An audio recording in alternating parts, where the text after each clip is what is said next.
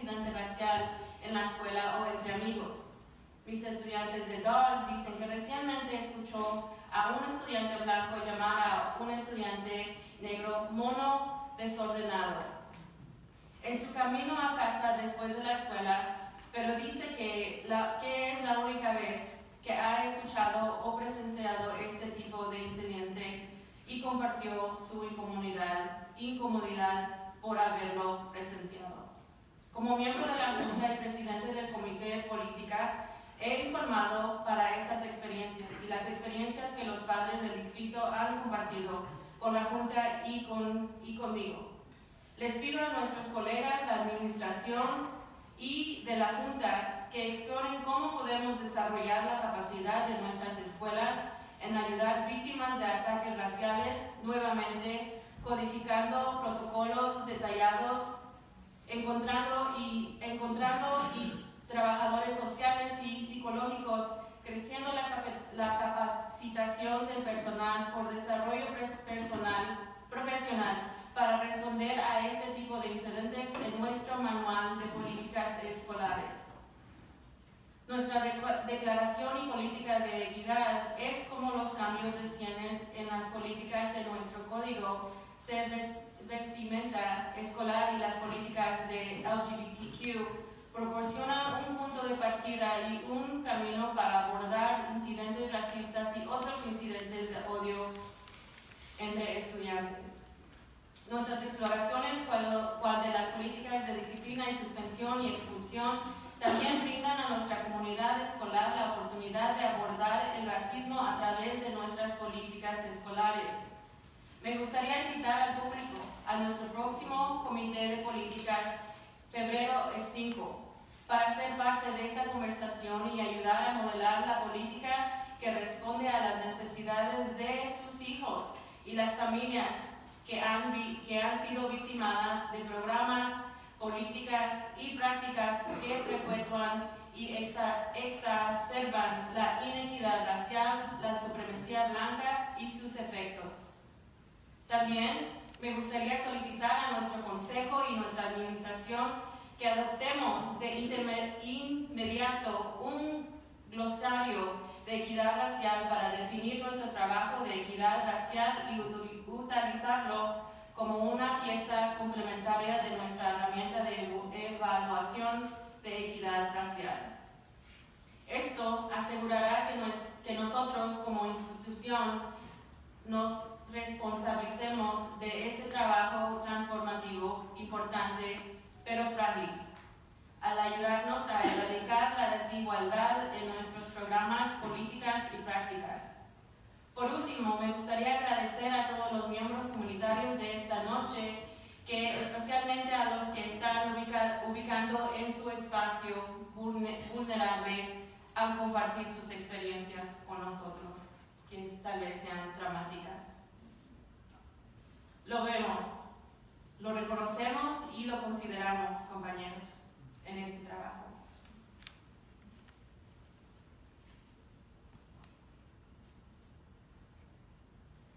de cambiar nuestras escuelas en lugares seguros para nuestros niños. No podemos hacer ese trabajo sin su voz y participación. Sergio Hernández.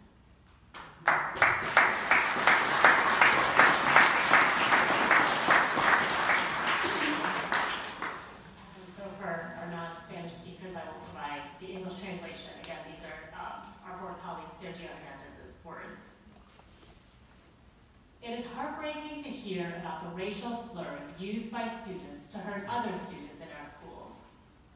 And although my heart is broken, I am also not surprised. Having grown up in one of the most diverse and yet racially and economically segregated regions in the world, I have experienced and at times perpetuated the effects of white supremacy.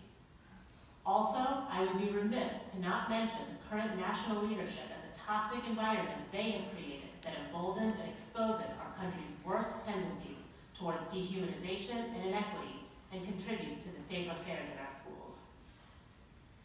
Growing up as a person of color in the 1980s, my friends and I were the object of racial slurs and discrimination from teachers, police, and even from fellow students, white and of color, like myself. I remember being called a wetback, a beaner, and a roach coach, and being told to go back to where I came from. I was born in Chicago. As I reflect on my experience with student-on-student racial discrimination, I want to make it very clear that what we did as students was learn from the adults in our lives who held bigoted and ignorant views. I learned to hate myself and my Mexican, my Mexican American heritage because of these experiences, but also because I found no validation or reflection of who I was in my educational experience. As an educator, I intentionally worked in some of the most marginalized and disinvested communities, my communities, and dedicated myself to correcting the wrongs I had experienced throughout my life. I committed myself to being a reflection of the students that I taught, making the curriculum I was told to teach them relevant to their lives and connected to their experiences, and treating their parents as partners in their education and with respect and dignity. Unfortunately, school leaders and some of my teacher colleagues didn't feel the need to do the same and viewed the marginalized children and families we were tasked to serve with disdain and indifference.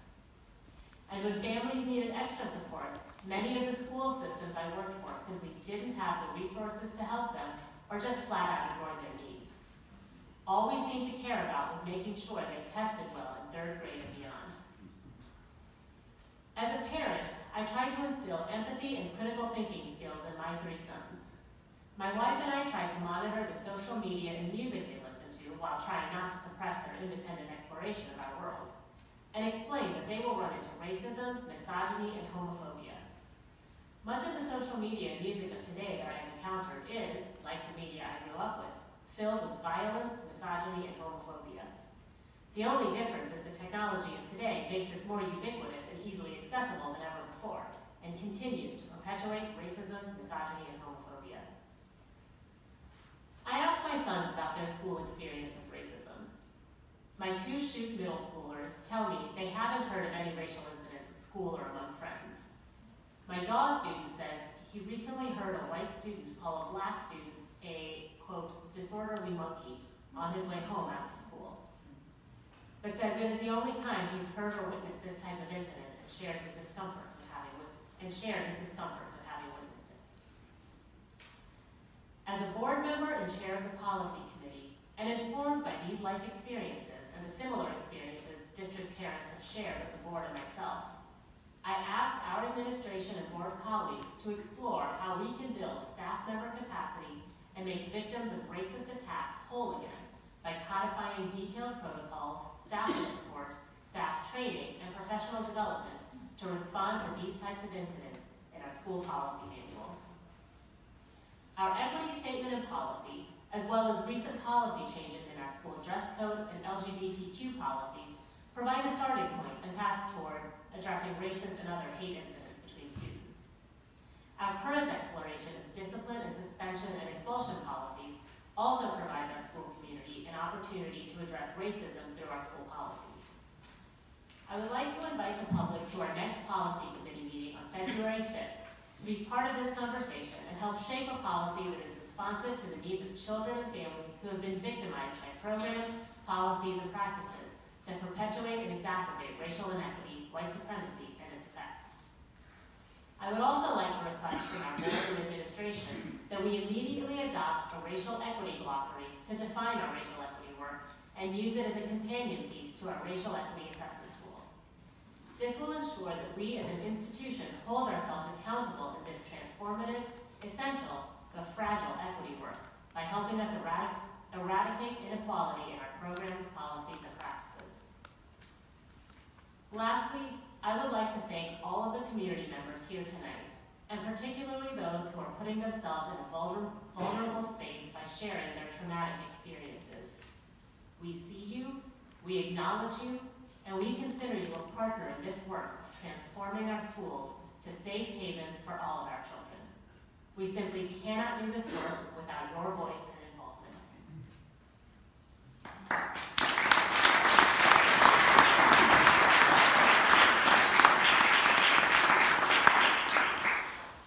And I just want to quickly add my, you know, because I, I know that we have a lot of people who are signed up to speak, and sitting here looking at this standing only room tonight, um, I'm reminded of several years ago, uh, when we had a similar standing room only meeting, um, and heard from prim- primarily parents of color who were pleading with us about the, the inequities they were experiencing and how they felt their children weren't being served um, in ways that were manifesting, that, that was manifesting itself in um, the gaps in opportunity to achieve that we've been seeing for years, for decades.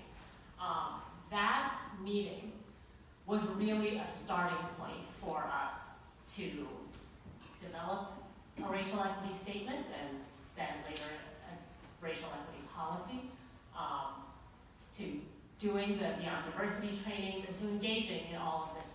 So as hard as it is to hear the stories, we need to hear them. As uncomfortable it, as it makes us, that discomfort is where the change is going to come from. So I thank all of you for being here, just like I thanked all of you for being here years ago and for helping to spur the conversation forward. You're here to move the conversation forward again, and I, I, I can't thank you enough for that. So thank you all for being here.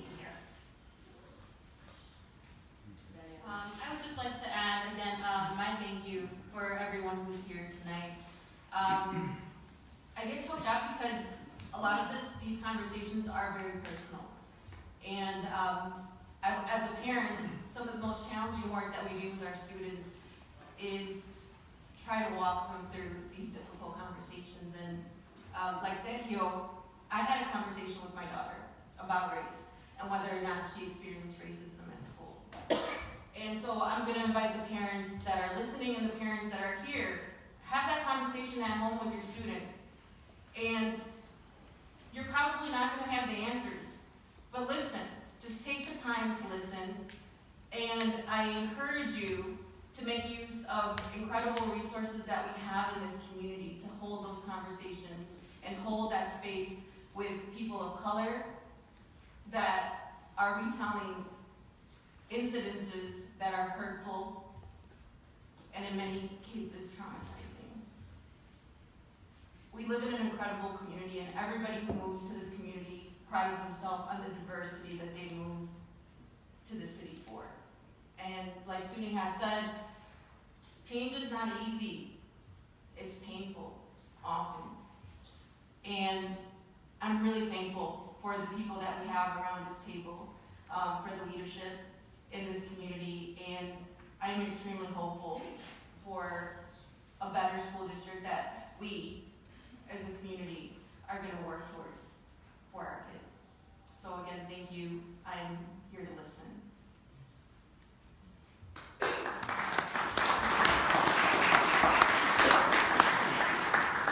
Um, I don't want to say too much because I do think we need to um, get to the folks who we want to hear from, but I would want to echo what Rebecca said. These are extremely difficult conversations. As Suni had said, it's really critical for us to listen and hear. Um, I think about it in the context, and I- I'm of the Christian faith, so right now I'm going through Advent. Um, A couple weeks ago, we lit the candle of peace, um, the second week of Advent. And as I sit here tonight, I think about, I have throughout my life thought of peace as sometimes quiet. And that's not true. Um, the opposite of peace is really separation. And sometimes to come together, all times to come, to come together, we have to have loudness and we have to have voice. And um, that's not necessarily where I have come from. Peace was everything's quiet. And so uh, I think it's really important that we have everybody's voice here for us to not be separated in the work that we have to do. And so I thank you so much for being here.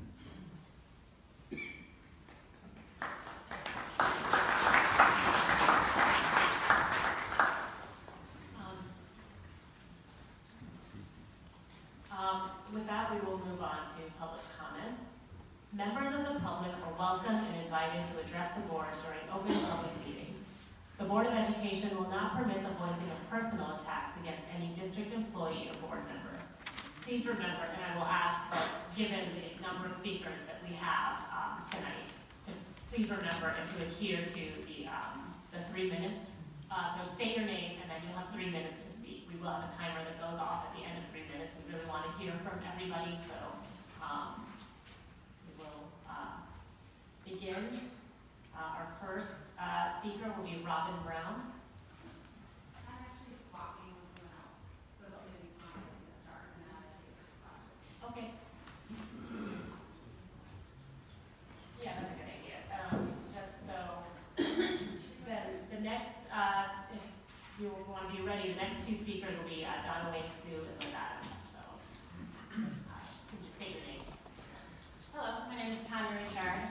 I'm the mother of two biracial children in the district. My husband is an alumni of the district, and my stepkids are white. I also travel the country as an equity, diversity, and inclusion consultant. You know the saying, you can't be a little bit pregnant? Well, you can't be a little bit anti-racist either. It's an all or nothing proposition. I'm here today because I sense a lack of urgency around the prevention of racist bullying. We know that this is happening in Evanston right now to our kids, and while I am hearing indignation, I am observing a delayed and lethargic reaction that concerns me. It's time for the district to shake off its sleep and wake up. I am also concerned with some of the language in the letter written by Dr. Goren, because the letter is centered around protecting families of color. And while that is noble in intent, and by the way, patriarchal by nature, it excludes the fact that this is not only about protecting kids of color. Mm-hmm. White kids in our district who are hearing and witnessing these racist attacks and are witnessing the slow motion reaction of adults are also at risk. They are being fed a message that it's okay to have these problems as long as you feel bad about them, have some things in place if they do happen, and hope to do something more encompassing eventually. Well, eventually could be years, and meanwhile, white kids leave the district, never having been a part of a fully overhauled anti-racist culture. Therefore, they will carry the message of eventually into their lives and perpetuate the problem. This work must be done now for the preservation of our families of color and the preparation of our white children to be anti-racist in the world. It comes down to whether we want to create bystanders or interrupters. Please hear me that our students of color who carry the burden of racist bullying are victims, but sadly they are being prepared to enter into a world where they will inevitably encounter more. It is the white kids who will be utterly unprepared to be of any use in fighting and dismantling the systems that uphold them and oppress others. They will spread the toxic thinking and engage in the active inaction they were raised on. And if and when we as a community encounter some horror, like one of our children taking their own life, or enacting revenge because the district doesn't act fast or smart enough, then it will be on the district and its good intentions. I don't want that. I know you don't want that. And we don't want that for any of our children.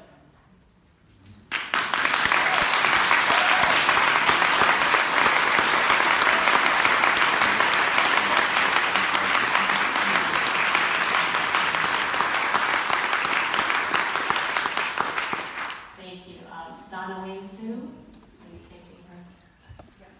Um, my name is Fuchsia, and uh, unfortunately Donna can't be here, but she sent me an email um, asking me to share. Good evening.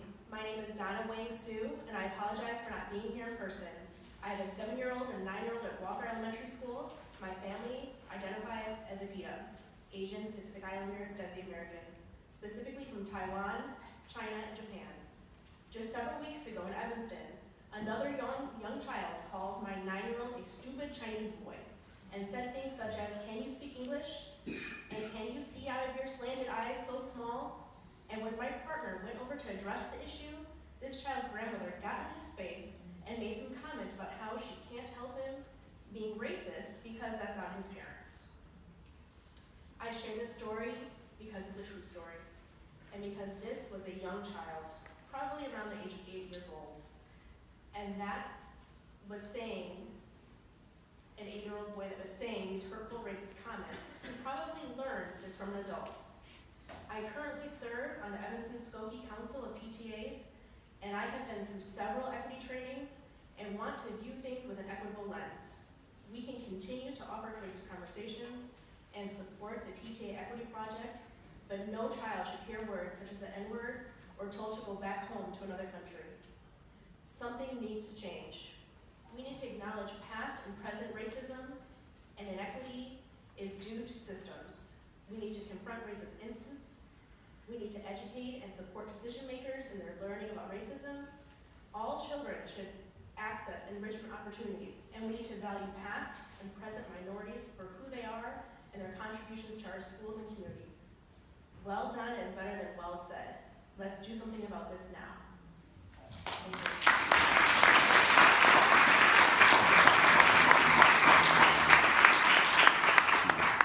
Liz Adams, and then uh, the next couple of people, uh, Jocelyn Davis and Cecilia Hoskins. Uh, my name is Liz Adonis, and I have a current and future Orrington students.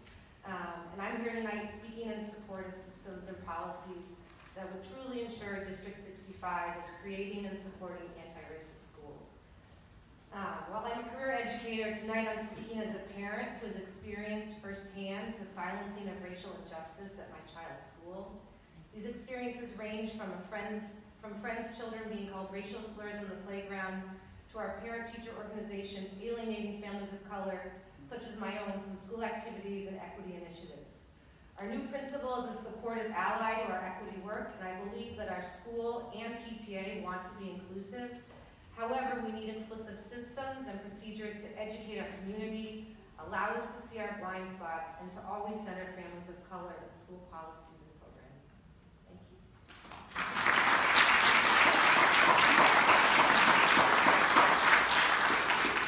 Thank you, and my apologies for mispronouncing your last name. Um, Jocelyn Davis.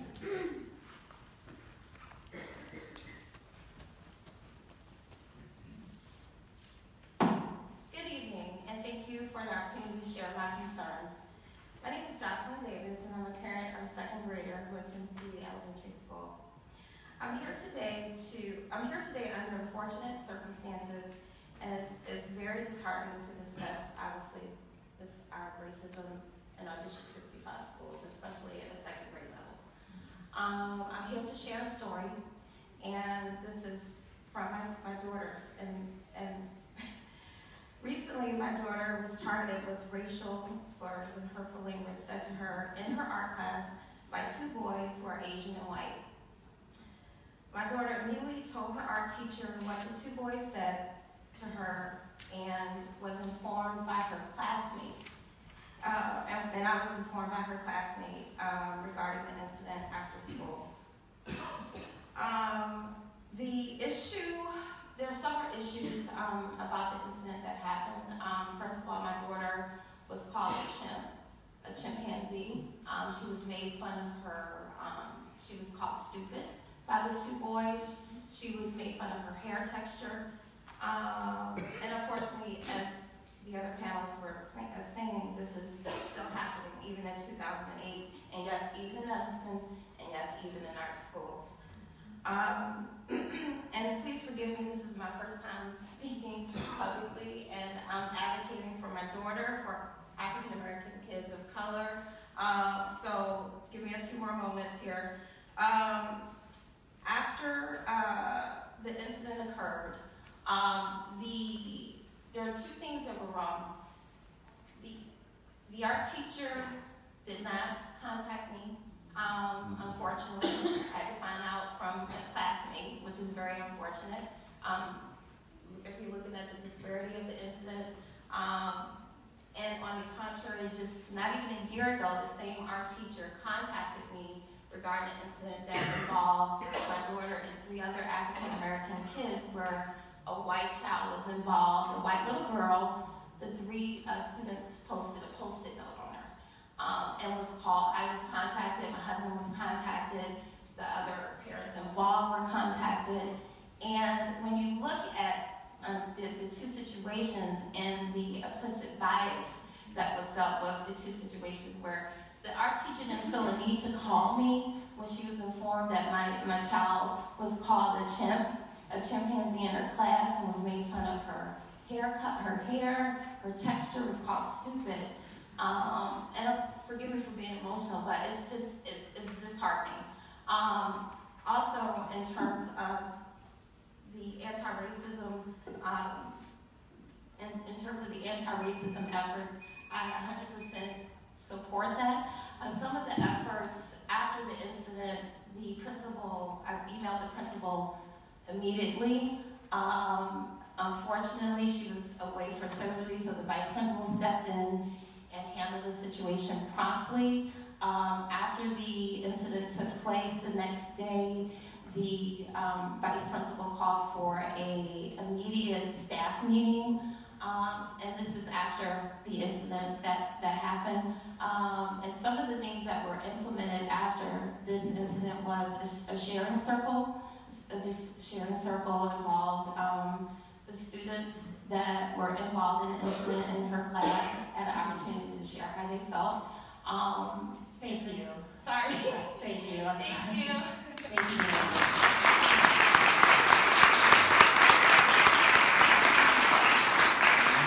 Uh, Next speaker will be Cecilia Hoskins. And actually, I submitted a written comment. Thank you everyone for being here. I want to pass my turn so that other voices can be heard. Okay, all right, thank you. Um, so then we, have, uh, Tracy Olasimbo, and, now Roger Williams will be on that.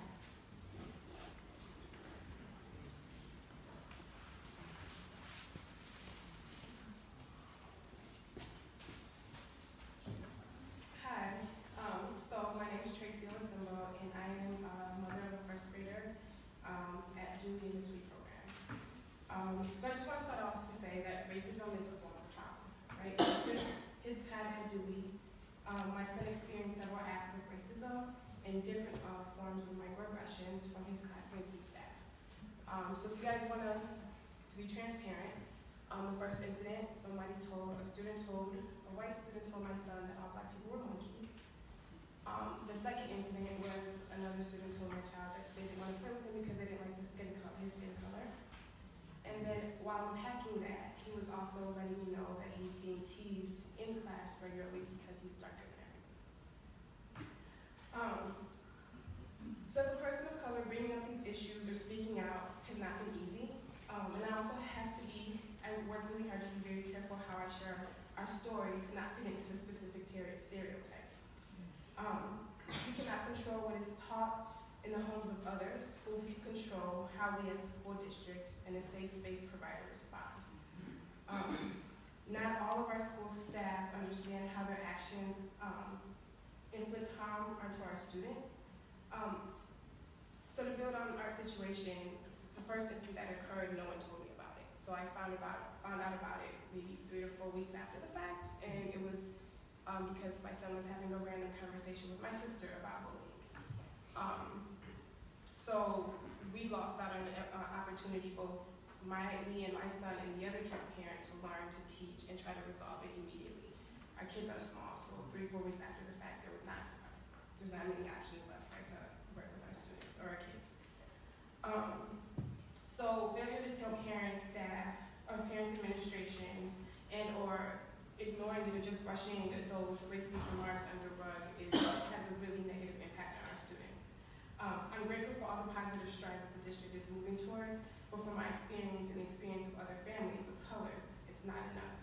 Um, how do we know that what is being taught in these trainings translates into their, these teachers' practices and into their classrooms? Um, so as I mentioned, my son is in the TWE program, and all the racism that he's experienced was in this class.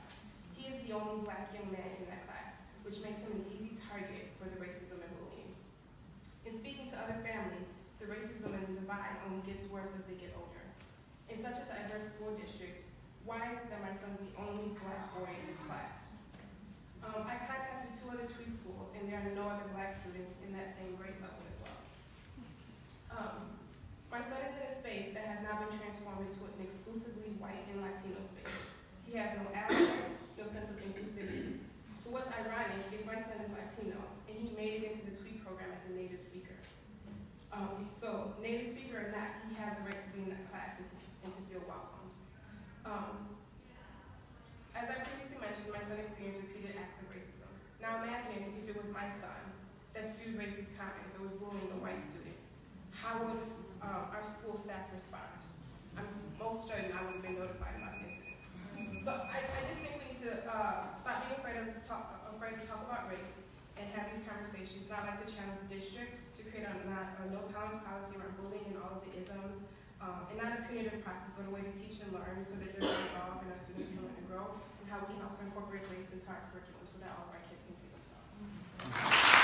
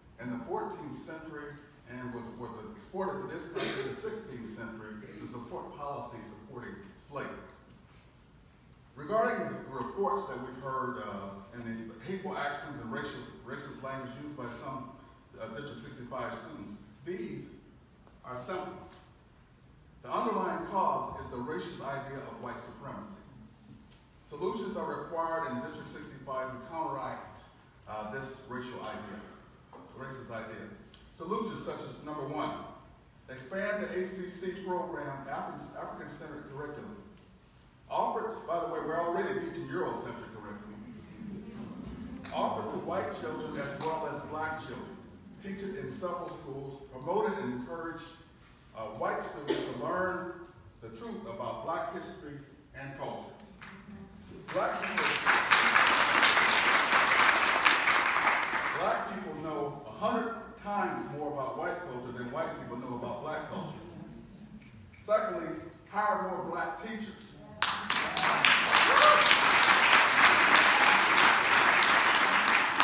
White speaking students need to see more black teachers.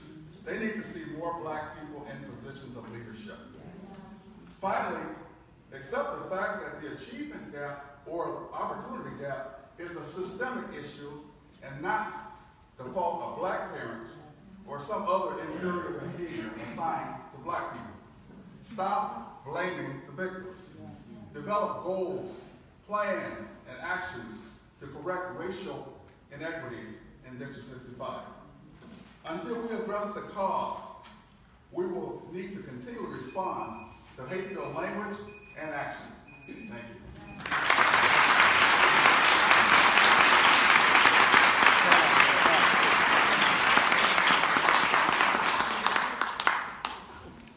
Leslie, and I apologize. I'm not Yeah, sure. Sean. It's fine.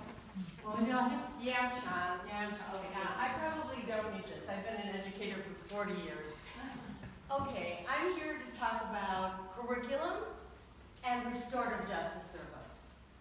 I want to talk about curriculum because I want to know, are you using Southern Poverty Leadership teaching tolerance materials in the schools? Are you really using them? They can be used K through 12. The other thing is, are the teachers being trained, going to trainings for facing history and ourselves? Are they going? I went to many, many I never saw an Evanston teacher there. Never. Now, maybe you're doing it now. If you are doing it, that's great. It is imperative that these two parts of the curriculum are used. Are you using primary source documents in the classroom? Are you taking a document in middle school, like the Declaration of Independence, tear it apart and show where it says savages? Come on, this is what's supposed to be done. Now, the other thing I'm going to tell you, you're not going to like, but I'm going to tell you the truth. I was trained to do restorative justice circles about six years ago with Erica Barton. A decision was made to take it away from the police department. It has fallen on its face. It is not working. Let me be very, very specific. It was given to a volunteer. It was completely disorganized. I'm not going to name the school, but I am going to tell you that I saw a group in a locker room in the gym. And the only reason I had the locker room is because my kids used to go to school there and I knew the teacher. Now, I was called in the end of August, in September, to talk about the circles again. Guess what? I called twice. They've never asked me to do it. I'm an educator. I know how to do this. I coach teachers. It's not working. You want to talk about racism? You want to talk about anti-Semitism? You want to talk about anti-Arab behavior? You want to talk about bullying? Those circles can work. They did when Erica Barton was running them. It doesn't work now. I have kids tell me, share things with. I shared with them my school experiences. It's not working. If you think it is, forget it. It's not. Unless it's working in the rooms, school rooms, where teachers were trained earlier. The last thing I'm going to say is I was in a school where I see children of color sitting in the office. Hours. And nobody comes to get them. I had a little girl in eighth grade while I was doing a circle that had her coat on by herself. She could have left the school. No one came together. When I went to get the secretaries, they said, we're too busy. I sat with them. What is wrong with this? I am here as a volunteer. If you need any help, I would be glad to help. But I cannot, I really, I'm telling you now, this is intolerable.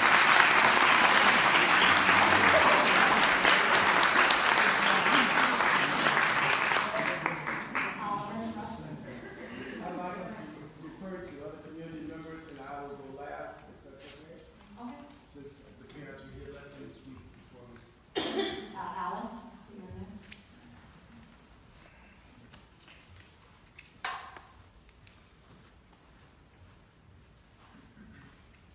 Alice Barry, Opal Board Secretary. I'm delighted to see so many people here for such an important discussion about anti-racism in anti-racist schools. And I want to echo what Roger Williams said about systems. I believe it's important that people respond to racism when it shows up, but that's not enough. Racism is systemic, and we need systemic changes. District educators and staff need to intervene when something happens, and what systemic support is there for them as they learn how to do those interventions and to make mistakes and have somebody to talk to when they do. What system is in place for district employees of color to get the support they need so that they will stay in the district?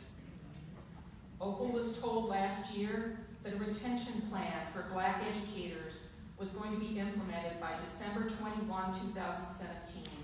We have never heard another word about it. And in the meantime, we have seen black educators leaving the district.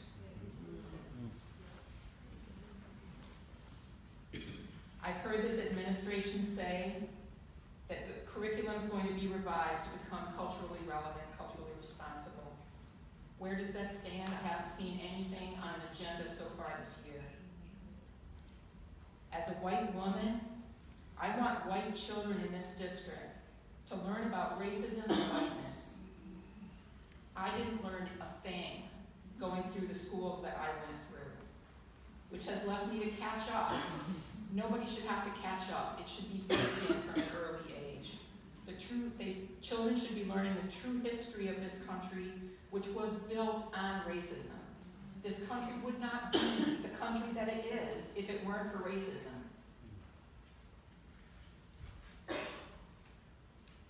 These are just a very few of the systemic changes I believe that need to happen in this district.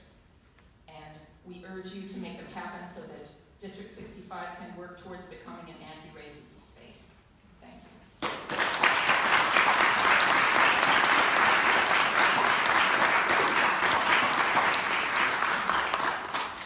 Tanya Gall, so I think Robin Brown, and you're going to take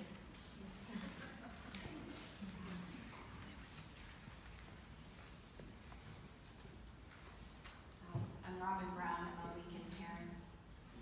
I'm speaking as a white parent of two white children. I'm also speaking as a member of a family which is committed to anti-racism, yet often falls short. Like many other white parents, we fall short not out of malicious intent, but out of ignorance. When we fall short, both white children and children of color are harmed. We are obligated to do our own work in our homes to educate ourselves where we are unaware. Yet we also look to and depend on our educational institutions. Similar to the values in our family, I know that District 65's heart is in the right place, but I also know that that is not enough. As much as we may like to pretend otherwise in Evanston, District 65 is an institution built on a foundation of white supremacy. The past tells us that ignoring this fact and simply operating with the goal of not being racist has not worked. We need to have more specific anti-racist policies and procedures in place if we're going to reverse the tide of disparate experiences for students based on race. That means both academically and socially. In conjunction, in conjunction with the district's efforts to eliminate the gaps in opportunity to achieve, we need to equip teachers, administration, and families with tools to address the interpersonal violence that we've been seeing of late. I'm confident that the majority of the district's teachers, staff, and administration genuinely want to create spaces where every child is safe, respected, and successful. However, we need to provide more support.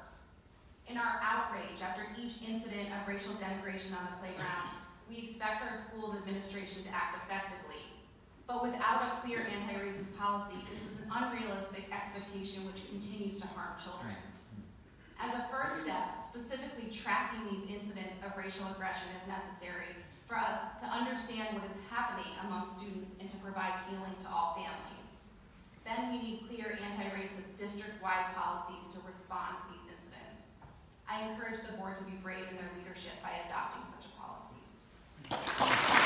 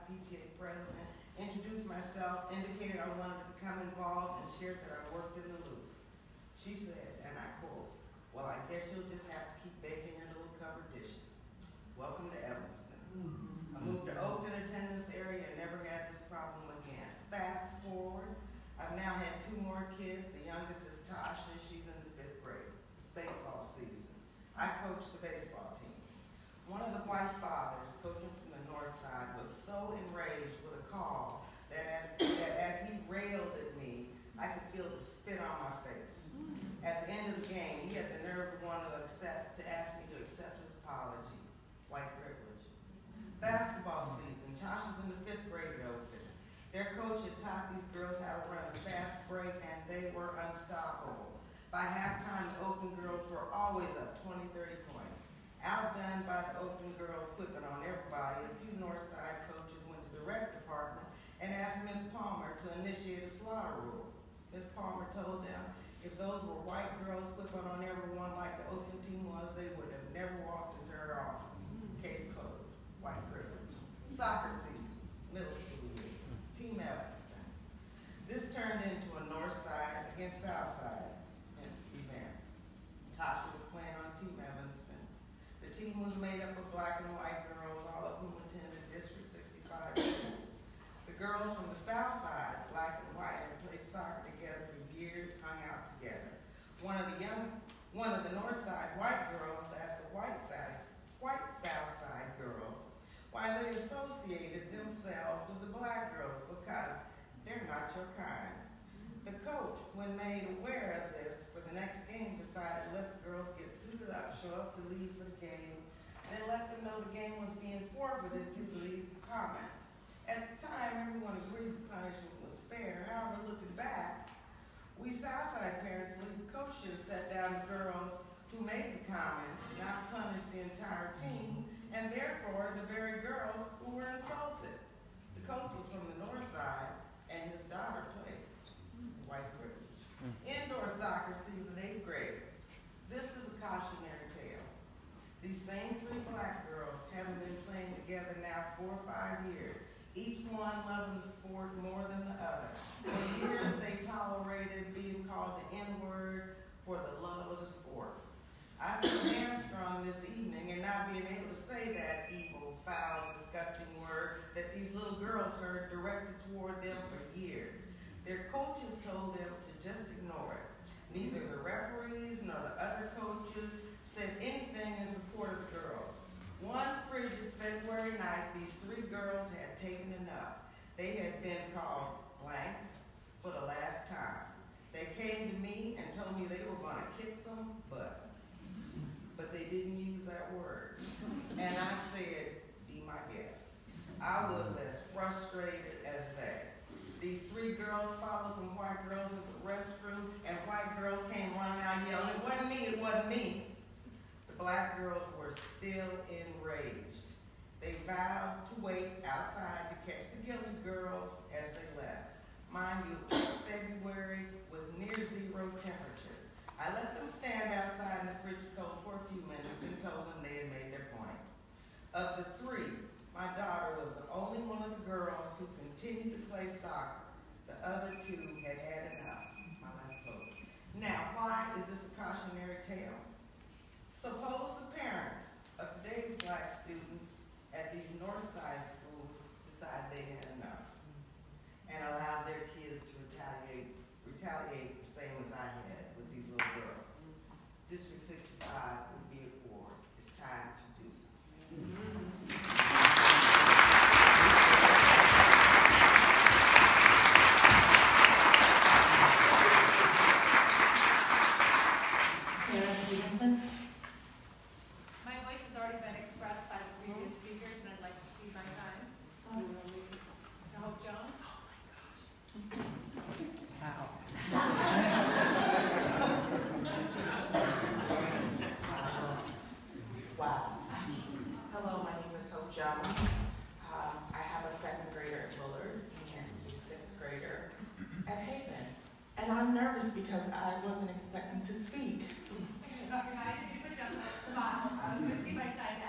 Oh, sure, Sarah. So, I'm sure she did this because Sarah and I are friends, and we met on the playground at Willard. And um, my voice may shake a little bit, but I think my story should be heard. So, um, first of all, we were very intentional with moving here to Evanston. We've been here a little over a year. We moved here from Fort Wayne, Indiana. And we are really, yes. um, I've had 10 years of education, public education experience as a school teacher. I've taught in Durham, North Carolina, and in the rural areas of North Florida, where when I was a geography teacher, a seventh grade teacher, a student showed up with a Klansman belt buckle on. And the principal told me, well, we'll just have to take that up with the school board because that's freedom of expression. Um, so moving to Evanston for us was supposed to be our saving grace. My husband accepted a job as the president of St. Francis Hospital, and um, as a stay-at-home mom, I was super excited to be in a space where I felt my black boys would finally be safe. Uh, unfortunately, we've had some incidents. Uh, I love my community. I'll start there. And uh, my pastor is actually here, Pastor Neighbors. And we, we really do love it here. But when my second grader came home the second week of school and said, Mom, I just don't feel like I belong in my classroom. And I said, Cooper, what would make you say that? And he said, Well, I'm the only black boy in my class. I was shocked because the year before, there were two other black boys in his class. And I went to the school and I inquired, and there was supposed to be follow-up. Obviously, he's still the only black boy in his classroom. And this is a situation where, um, well, we'll do better next year. But my son has to be the only black boy in his class for an entire year. I want you to think about how that, that impact that has on a seven-year-old. Secondly, my sixth grader at Haven, um, same scenario. How's school going? Middle school is middle school. I taught middle school. I get it. Mm. But the fact remains that he is saying that there are no African American teachers teaching core classes at Haven. How is that possible? Someone please help me understand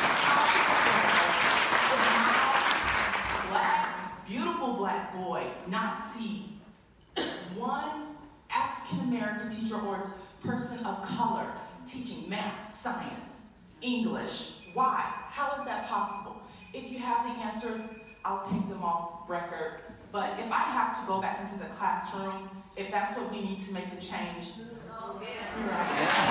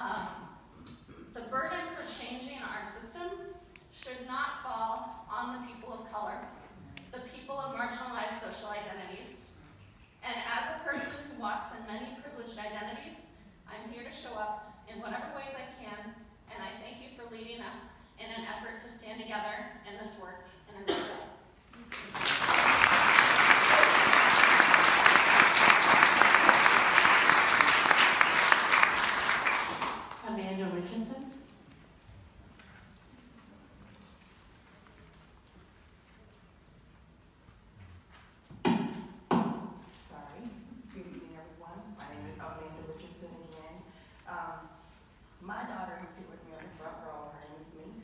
Um, she's a junior at North College. She's a double major in political science and philosophy, and she's minoring in social change leadership. She's a pioneer in making what you guys say you wanted Issue 55 happen um, out of Naperville, but it's, it's a little bit more white out there than that.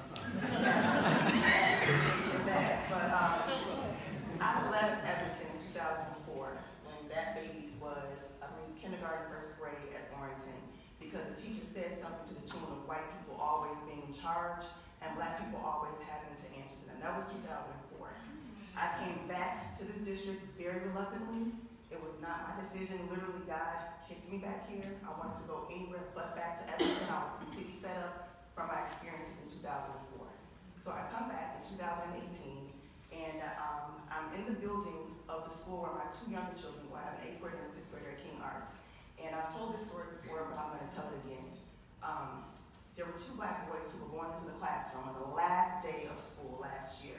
And they were already not wanting to go into the classroom. I could tell by their behaviors when they, it was time for them to go into the classroom. And literally less than a minute after they had walked into the class, they were kicked out. And the teacher had to lock the door. So the boys couldn't even get back into the classroom. And because I knew them, I walked up to them and I said, you know what's going on? And they're like, this teacher hates us.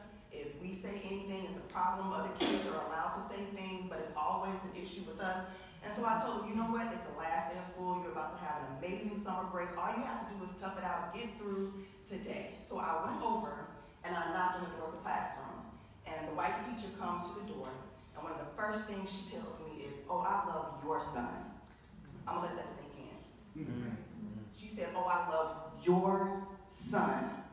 What is the difference between my black son and those two black boys that were standing outside of the classroom. Why did she feel comfortable enough to tell me that she loved my son, but she locked these other two black boys out of the classroom? So in that moment, me as a black mom became a mom of those black boys, and I had to mediate keeping them calm to get back into the classroom.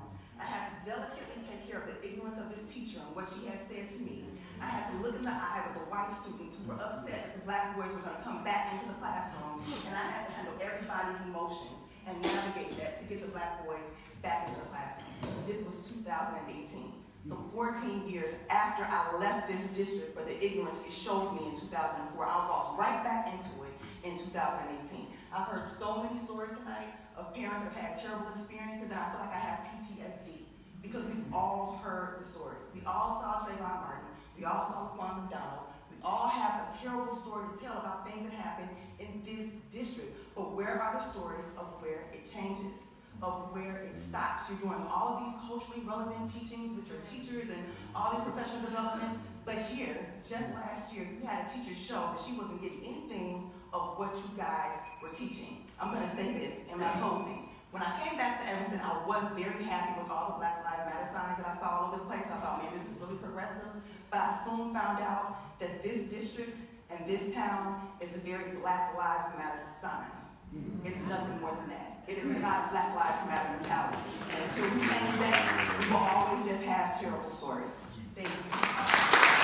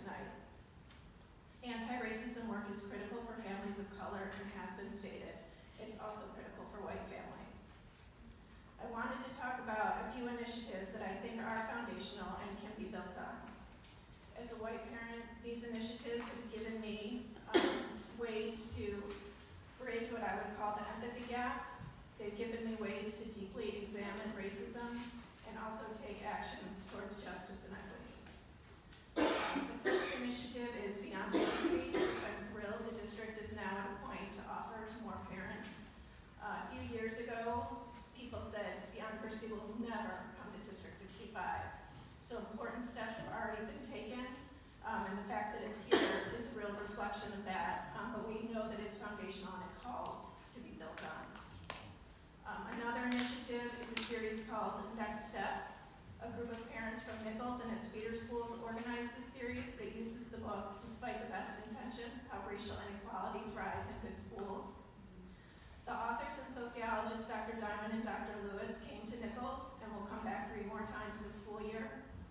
They talk about their research that shows that schools are not race-neutral spaces and unintentionally perpetuate racism. This series has been an amazing opportunity to hear directly from experts in the field, and I hope this program can be replicated across the district. It has sparked much conversation and offered new ways for white parents to put their values into action. I also want to speak about a group that grew out of Washington School's Conversations on Racism and Equity. Along with other affinity groups a number of years ago, an anti-racism white affinity group for white people to take responsibility for our own racial education, to challenge ourselves, and to better prepare us for cross-racial conversations and cross-racial action. This group that's now open to parents across the district taught me that humility and curiosity are two of the most important qualities to pass on to my white children when it comes to anti-racism work.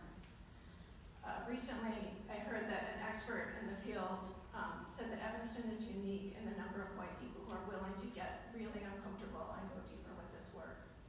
Uh, and that made, led me to another group um, that's doing really important work. Um, the Dewey School PTA hosted a four-part series called Transforming White Privilege that was deeply thought-provoking and facilitated by District 65 parents. Uh, so in closing, I'll just say that um, in the documentary that addressed racism in Oak Park River Forest High School, Evanston was mentioned as a progressive model in the documentary and in subsequent panels. We, continue, we can continue to be this model for how integrated schools can work for all kids. We've started down this path.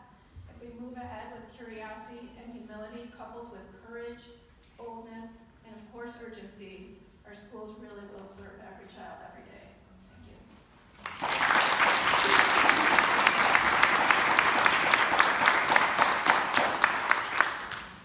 Megan Kennedy Farrell.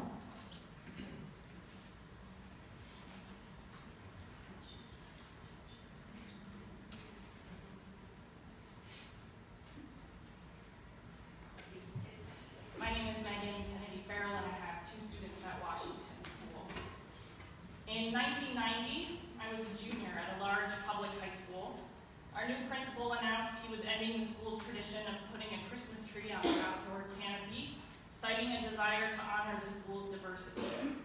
And the community erupted. Hateful, xenophobic, and racist letters to the editor were published in the community newspaper with demands that those people return to where they came from. Hmm. And students who wanted the tree staged a walkout, emboldened by the hateful sentiments of some adults in the community and the deafening silence of so many others. 28 years have passed, and I still have vivid memories of the racially hateful remarks I heard and read. Vivid memories of the teacher carrying on as if nothing was out of the ordinary, and vivid memories of pained looks on the faces of my classmates of color. But I have zero memories of anyone standing up, speaking out, encouraging critical thinking, or using that moment to educate in any way. The silence spoke volumes. Students whose identities were targeted were not protected, and as Tanya said at the beginning tonight, white students were left unprepared to navigate a future anti-racist world. What if instead, the administration had been working tirelessly to create a culture intolerant to racial slurs and hate speech?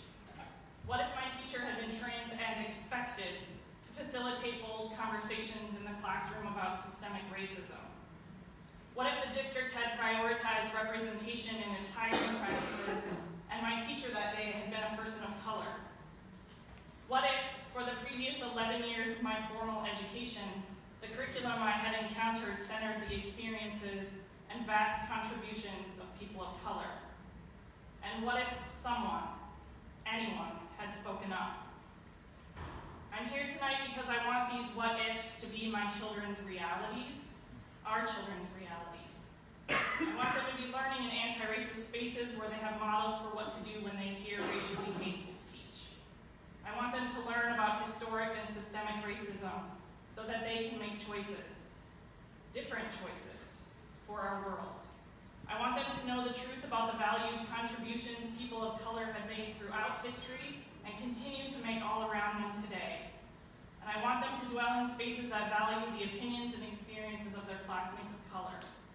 I can't imagine a more valuable learning objective or learning environment. I'm grateful that my children are in this district where some are speaking out and where this conversation is on the agenda tonight. But it's been made abundantly clear in recent weeks and particularly in the experiences shared tonight, that this is not at all enough. We must do more. All of our children are watching.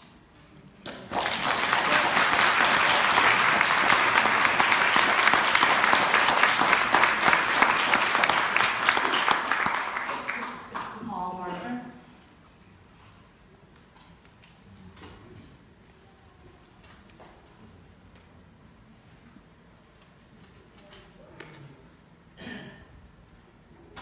If I asked that any of you consider yourselves racist, would you please raise your hand so we can identify you? I don't think I get any volunteers. But we've got a people over there aiming a whole lot of energy at this one for the room. And I was trying to think earlier, why is that? I'm sure you're all really nice, well-intended people. And I realized I got the answer driving home from a class today uh, on NPR where two people were having a conversation. One of them said to the other, you don't have to have racist intent to contribute to racist institutions or systems. Beautiful summary. So, we'll leave it at that. Thank you.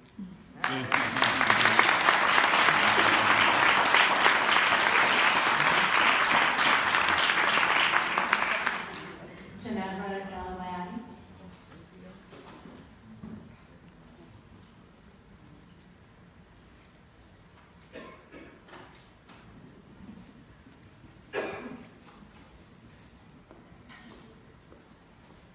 Hi, my name is Jennifer Galloway-Lees, and I have a daughter at Nichols. Um, I struggled a lot with putting thoughts down on a piece of paper, so I decided I would just speak from the heart. Um, my husband reminded uh, me this weekend that we have been in Evanston for 10 years, which kind of came as a shock to me. Um, I, I still don't quite feel like an Evanstonian, but I am very invested in Evanston and I see a lot of potential. Um, when I first moved here and started getting involved in equity work and anti-racism work, I started interviewing people. And one conversation in particular has always stuck with me. I was interviewing a woman of color. She's a black woman who had lived here for 40 plus years. And I remember two things from our conversation. One is that she told me that she never feels safe in Evanston as a black woman. Never. That that was a, a constant part of her experience. The other was that she felt like she had seen the same conversations happen over and over and over in Evanston. And I feel like I've heard that again from some of people of color who've spoken tonight. We keep having the same conversation. Why? You know, why not do something? So one of the things that I have realized is I've been doing my own work to understand my whiteness, my identity as a white person and white supremacy, to be able to say the word white supremacy and understand even a little bit what that means and how pervasive it is, is that I finally am beginning to understand, my understanding is evolving about centering whiteness and what that means. How putting whiteness in the middle of everything eclipses efforts to truly be inclusive. It eclipses efforts to, to not discriminate, to not dehumanize. So the one thing I would ask of you is don't center whiteness in your decision on this issue. Leave it out. Because I can tell you right now, there are tons of people in this room who support this effort. You're going to hear from a lot of people who aren't here tonight who do not support this effort. Don't listen to them.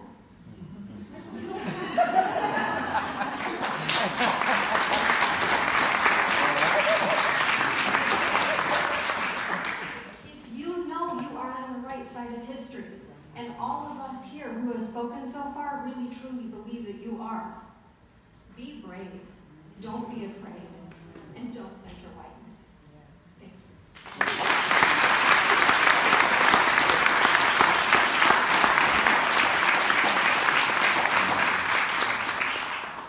you. Ann Brown.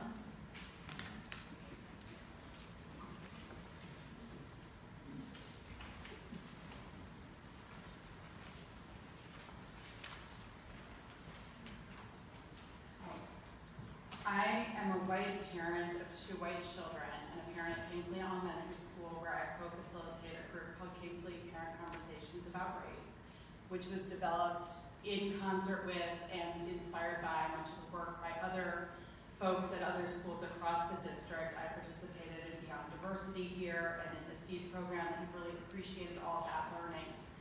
I'm still learning. Um, I, part of my urgency in restarting some sort of courageous conversations at Kingsley was my own experience as a kid, a white kid, in a diverse school system that didn't talk about race. And I made a very hurtful comment to a black friend as a third grader. And so part of my, and I was recently talking about this and someone asked me, well, did your parents teach you that? No, my parents were like wonderful progressive folks, but we didn't talk about race enough at home. So I had an incomplete understanding of the things I knew about slavery and from the culture. And I don't want that to be repeated. I think we need to talk to our kids and teach our kids about race and racism. Someone mentioned tonight the social justice standards for teaching tolerance, K-12 standards. I have wondered if that is something that we could incorporate into the schools because it's not enough for those of us who know we need to be talking about race with our kids to do it in our homes. We need to do more in our classrooms to prevent kids from making the kind of hateful statements that have been made recently in our schools. I also want to underscore and echo the comments made by Sergio Hernandez about developing very clear protocols, staff training, and ways to respond, um, and of other parents who have commented about things like how do we make sure that the training that we're giving our, our staff is transferring back into the classroom. So I think this district has done a lot of good, and I appreciate the steps that you are taking, and we have a ways to go. Thank you.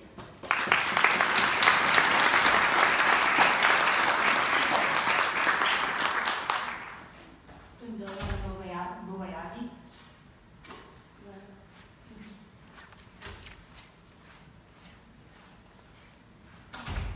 Good evening, everyone. Um, so my name is Ndona Muyai, and I'd just like, like to preface my statements to let everyone know that I'm the current and new president of the Bilingual Parent Advisory Committee here at District 65.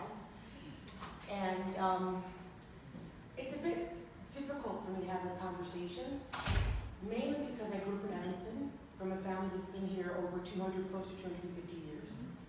Um, and I didn't experience a lot of what's taking place now. And it had a lot to do with the fact that my family had been here for a very long time.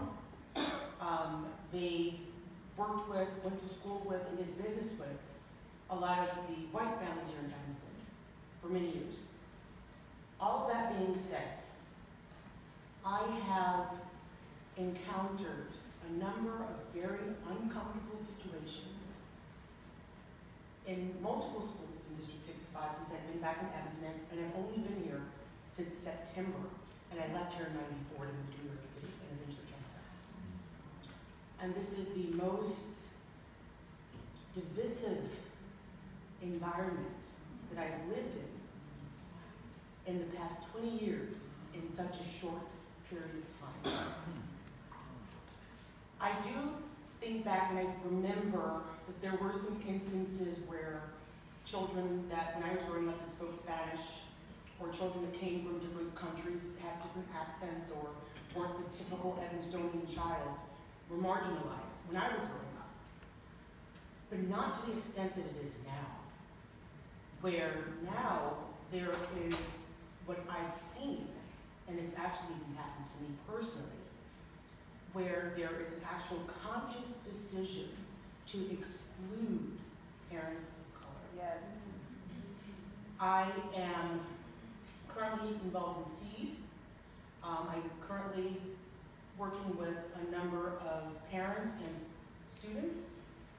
And the feedback that I have received, not just from parents of color, but some white parents who are fairly new to Evanston, is that, I'm trying to put it nicely, um, the black parents don't want to be involved. The Hispanic parents don't want to be involved. They really don't care. And if I heard it from maybe one, two, or three people, I'd say, okay, maybe. And after I heard it, and because it was stated previously that we're not supposed to mention anyone's name that worked for District 65, I won't do that. But what I will say is that my son is at ETHS. He's doing very well, happens to be the only black student in, in many of his AP and honors classes. My daughter is a Haven. I have joined multiple parent groups. I have reached out to all of my friends and family, and I'm just to end it real right here. And I reached out to many Spanish-speaking parents and black parents who I was told did not want to be involved in the PTA. And as soon as I recruited them, the website went down for over a month. And I went back and forth with emails and phone calls, even showing up at the school, stating that I had recruited minority parents to get involved in the PTA and the education of their children. And nothing was done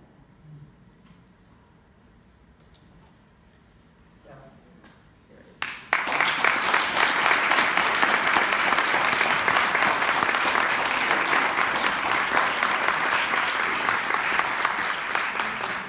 I apologize for mispronouncing my last name. Um, Albert Gintz.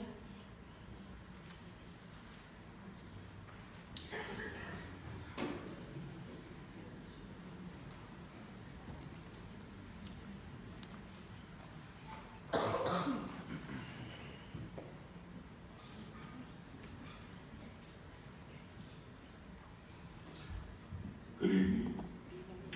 My name is Albert Gibbs. I am a product of District 65 and 202, born and raised in Emerson. I read earlier where I think the title or the topic to this is called, tell me if I'm wrong, it's called Making District 65 an Anti-Racist Space Emotional Safety for All Students. Hmm. And I think to myself, well, something else I read that spoke to the character of an organization is reflected in its commitment to its community. And then I thought, well, any value of a community or humane society is the treatment of the least of them. That which is at the lower of the rung of the ladder. If you're big or you think you're something at the top, well, the way you treat the bottom says an awful lot about you. Says an awful lot about you. Underrepresentation. I always thought that schools were to be institutions of higher learning. That is, from elementary to college and behind. I've been recognizing that this, this gathering here, this topic tonight, tells me how wrong my thinking of equal education for all students has and maybe still is out of line. Example, I can say where 10 or so years ago, I would go to a relative's school to see her in different performances during the day, to support her, Ridge was the school. I remember when I wasn't welcome over in there. It wasn't because I violated anything. I was just the wrong color. And watching the educators deal with the students as they came out of the assembly after the performance going back to their rooms, I couldn't help but notice how the white teachers had a way of speaking to the children of color that I didn't see them offer to the same people that she were. And when she saw that I was watching her, because the little black kid, he felt like a penny with a hole in it. She was at it. But yet, she showed a loving disposition to the other little white kids. And when she saw me looking at her, all of a sudden her demonstration changed. Changed. Well, that reminded me of when I was in school. I can recall where, as a sophomore, beginning my sophomore year, all of the black students at Evanston Township High School, we walked out of the school in protest to the racist, discriminatory treatment that we received from the white teachers and the administration. It's pathetic to see that this is still happening now. It's pathetic. You say that you're listening. May I just I'll be one moment? I think we need to establish an elementary school in the Fifth Ward.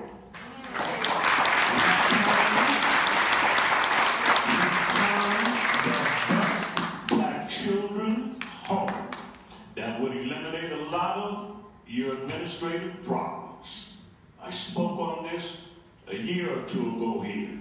Well, I should say when we sought a referendum to have it, to have that put on a referendum.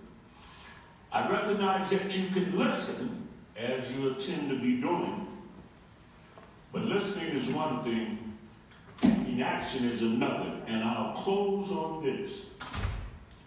How do you recognize that maybe you're racist? Think about that. Well, I'll tell you how. If you see it as a white person, you hear it in your house, at your job, in the supermarket, on the streets, and you say nothing about it. You don't stand up and say, stop it. Cease this madness. You are perpetrating a fraud here tonight. Because it is going on. You're not trying to stop it. You pretend in front of people you're concerned. But I bet you a dollar to a donut you won't do anything about stopping it. And you can. You have the power.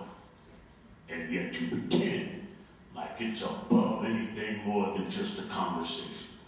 Do the right thing. Quit playing.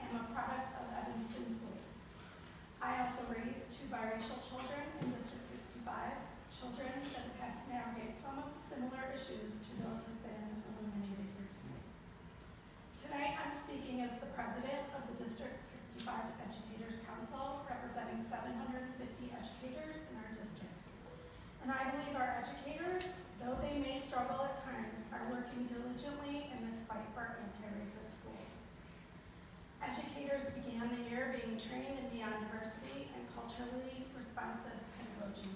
Both help support the ways in which we talk about race and equity, as well as elevate our ability to teach in racially conscious ways. We are dedicated to this hard work. Our educators are examining our own beliefs, challenging our experiences and our own practices. Our educators are committed to this work, and while we may make mistakes along the way, DEC is all in for partnering within this essential work to bring these ideals into our classroom.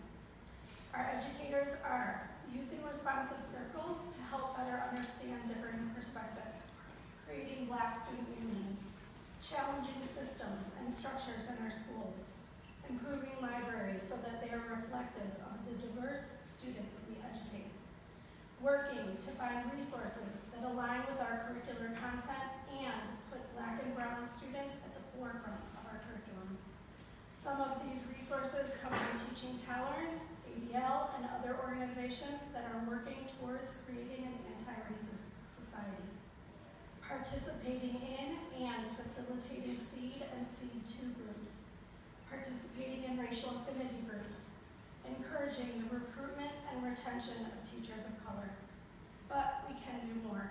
This work is ongoing, and our educators are committed to partnering with families and caregivers, administration, and the board in this essential anti-racist work to support our students. Our educators want all our students not just to feel accepted, but make sure that they are accepted fully and fully. Thank you.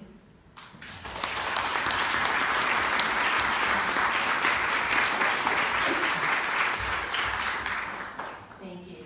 And then Oliver, did you want to be the final speaker for the night?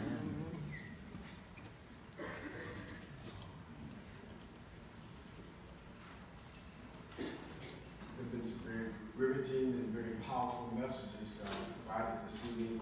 So I thank you for those of you who uh, provided your messages. Good evening, Dr. Goren, Board of Education members, district staff, and audience. In prelude to the district's presentation this evening, Opal would like to provide some questions for Andrew. Having the presence of the police in the building uh, can be a community building image or a conflictual presence. There's some questions we'd like to ask regarding that or have addressed regarding that. How are they being utilized in the schools and what impact does that have on our students, especially students of color? How do the officers know that their impact, the impact that they are having? Have they talked to the students and in what context?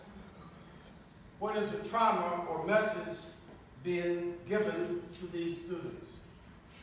How many times have the police been called on students in the district? And what is the racial makeup of the uh, incidents? Is it necessary for them to be dressed in their uniforms in the elementary schools? If so, why? Are the police officers at all schools, and what determines what schools they go into? If they are not in all schools, what are the determining factors and why are they assigned to a specific school? These are questions that require information to be unpacked and to have it clearly specified how the police are used and the result the resulting effects. Thank you, and this is the part of OPAL, some of the questions that OPAL wanted to have addressed. Thank you for allowing me to present.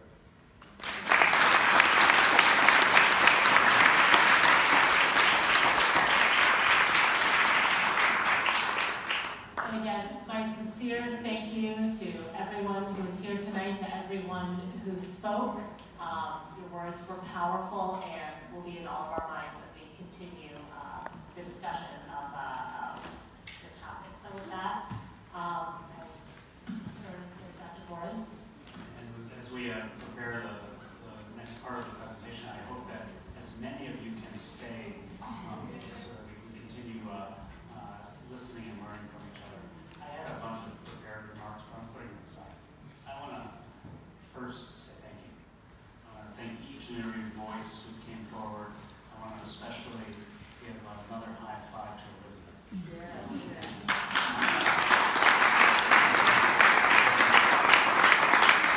Fast forward to the end of this presentation that we're about to have. Um, we're going to say that this, this is not a one and done conversation. We're going to continue on. We're going to continue on with two community conversations uh, in the new year. And Olivia, I want to make a promise that we're going to work and get and harvest student voice. And we'll actually start with you to help us out in Haven. And we'll, and I'm- my time is up. Um, But we will actually look to uh, the other middle schools and uh, our elementary schools because the voice of students is so vital, as is the voice of residents, as is the voice of uh, community members. I want to say something, and I don't want to be disrespectful to the person who said this is the same conversation, because in some ways this is the same conversation. I've lived here for 20 years. Um, I've lived in South Evanston for 20 years, and the, same types of dialogues that have been going on continue to go on. Where I see this as different is that in the past, we would take incidences of racial slurs, of racial discrimination, discrimination, and we would, as a district, sweep it under the carpet. Kids will be kids. It just happens. I can ignore that. And my statement, I want to be clear, is we will not ignore it anymore. My statement, and I want to be clear, is that as a white person, I will take the lead in not ignoring that anymore. That's why we're here tonight, that's why we're engaging, and that's why we're doing everything we can to learn. Uh, the second thing is that, as I said in my comments earlier, the changes that have to happen, and what each of you have said, explicitly or implicitly, is urgently, promptly, now. Don't let, don't let anything happen but responding to it now. Happens at the individual level, happens at the individual level on how we do the work that is necessary to understand issues around race and racism and how we unpack that. As a white person, it's how we unpack whiteness and how we're actually frank about it and understanding and how, at least for me as a white person, how I listen and learn and move forward. That's the work that we've done through Beyond Diversity. That's the work that we've done through SEED. That's the continued work that we'll, um, we'll do in the district. Um, and again, when I landed here, I heard the same messages. Beyond Diversity would never happen in this district. We now have close to 800 people who are trained in Beyond Diversity. Uh, we have multiple seed cohorts. All of that is necessary, but it's not sufficient unless we use. The individual focus is really important. The institutional focus is as important. What are we going to do in terms of our policies, our practices, our hiring practices, our curriculum? Yes, we do use teaching tolerance. Yes, we do use the wide range of skills tools out there. Do we use it enough? No. Can we use it more? Yes. Do we have restorative practices? Yes. Joaquin will talk about some of this as we move forward. But the institutional changes, pushed by this board, supported by the senior team here, engaged by our principals, is where we have to go. We also have a community, two communities that we live in, Skokie and Evanston. And uh, the environment of Skokie Madison, we will be a player. I will commit us to be a player as a school district. This is also a conversation that needs to continue within our communities um, so that we can do the work that's really necessary. And I know, and I think it's uh, just absolutely marvelous what the um, several uh, parent groups have done throughout the different uh, uh, schools to be able to actually engage this conversation. This conversation cannot start, stop here. It has to continue. And I just want to, um, again, say from the bottom of my heart that I am appreciative of the voice, um, but appreciation only goes so far. Urgency and prompt response is where we will actually make a difference. With that, I want to turn to Joaquin Stevenson, um, who is our Director of Equity and Parent and Community Engagement, um, who will help with my colleagues and me lead a conversation about the work that we have underway and the work that has to continue um, as we move forward to create support for uh, anti-racist schools and anti-racist communities. Thank you, Dr. Goren. Thank you, board, administration, community. Uh, I can see I'm in the right place. uh, I'm just so blessed and welcome to be here today. Uh, I believe that everything happens for a reason, based on my belief system, and I believe I'm here today for a specific purpose. Thank you for taking a chance on me, on my hire. Uh, in my 12th week, as I give this presentation, uh, I am not an Evanstonian. I'm from Humboldt Park, Logan Square, and I'm proud of that. Uh, but the racial impacts that I see in my community, I see in my community that I serve here today.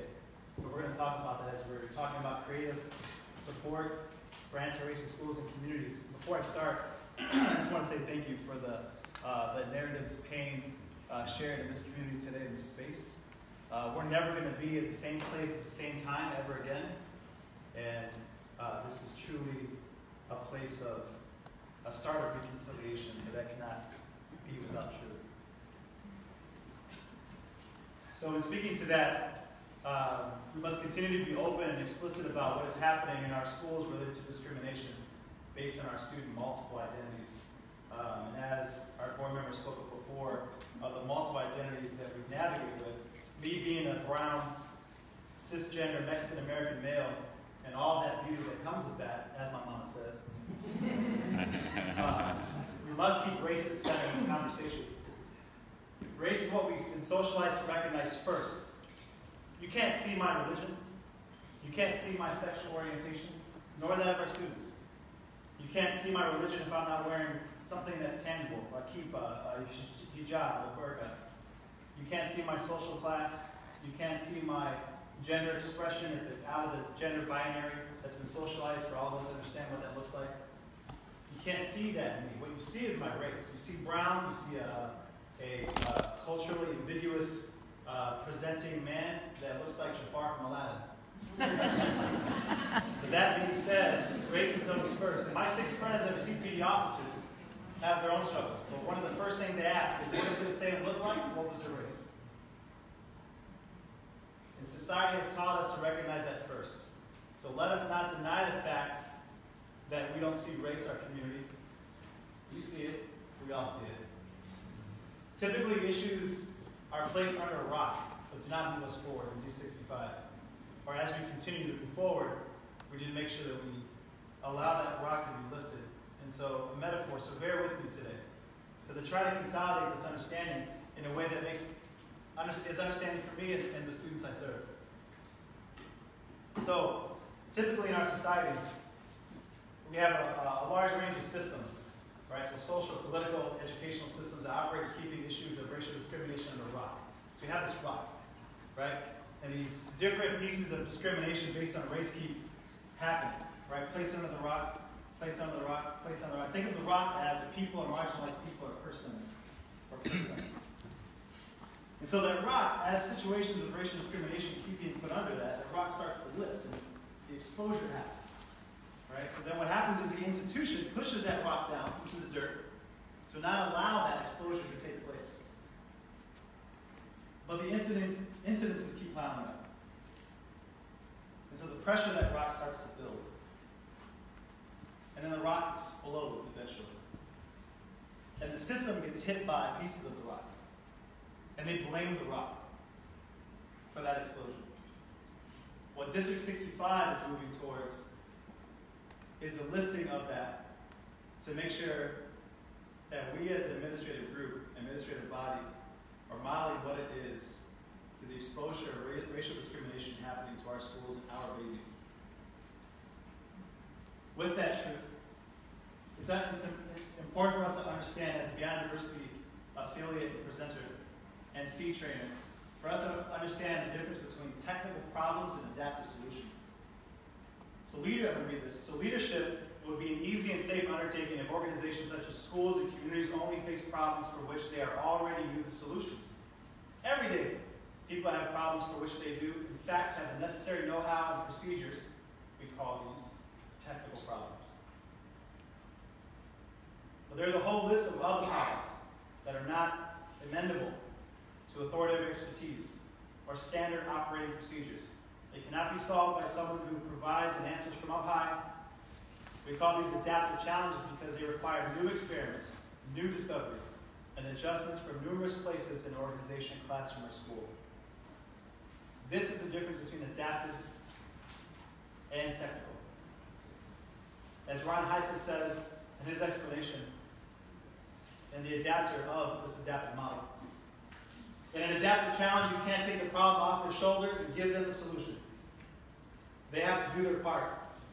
In an adaptive challenge, people are part of the problem. And their ownership and responsibility taking of the problem beco- becomes part of the solution itself. That's the recognition that every adult in the institution understands that we are all part of the problem, but yet we are also part of the solution itself.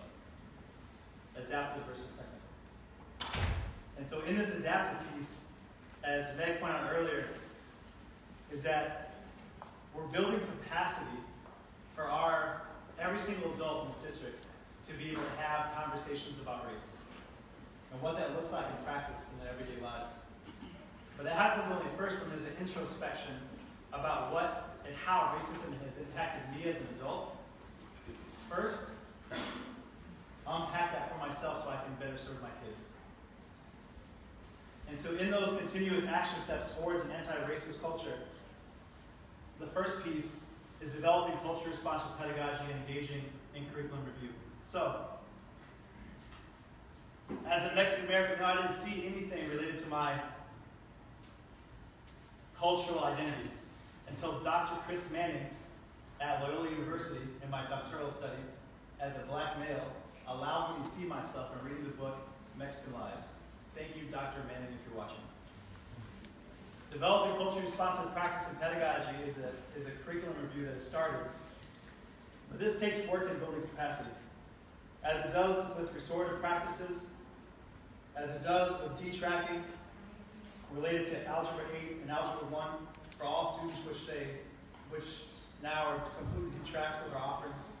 Uh, the new discipline code, discipline policies, school-based climate teams, district equity leadership team use the race-forward racial impact assessment to filter through the new discipline and dress code and our administration being open to that incredible feedback from educators that have a heightened sense of racial and cultural competency.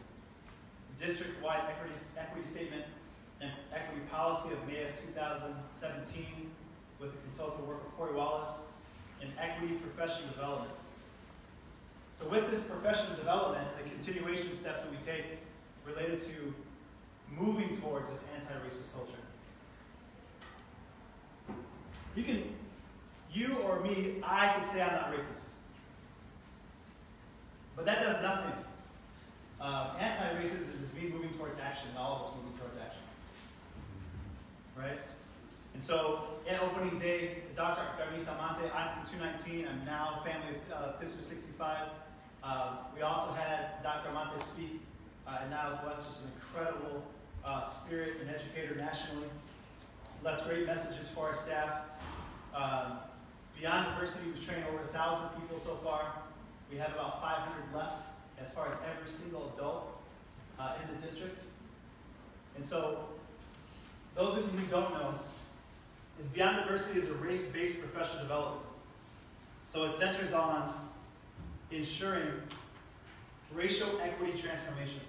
And so what the, what the workshop does, in, in being an affiliate of that, is it teaches our staff tools of how to navigate conversations about race using the compass, the four agreements, and six conditions. So if I want to internalize a specific piece, then I can ask members of the audience or us here at this board about how often do you use gender pronouns and how often is that internalized for you? Right? So me, as a straight male, that took a while for me to internalize and understand. But if I didn't understand how to use gender pronouns, that's my work that I have to make sure I do. Just like it's every adult's work in this district to make sure they internalize the protocol of having conversations about race. But it doesn't happen unless you use it. So Beyond Diversity is the intersection, the avenue for all of our adults in the institution to be able to step in and engage, and from that point, the work is their own.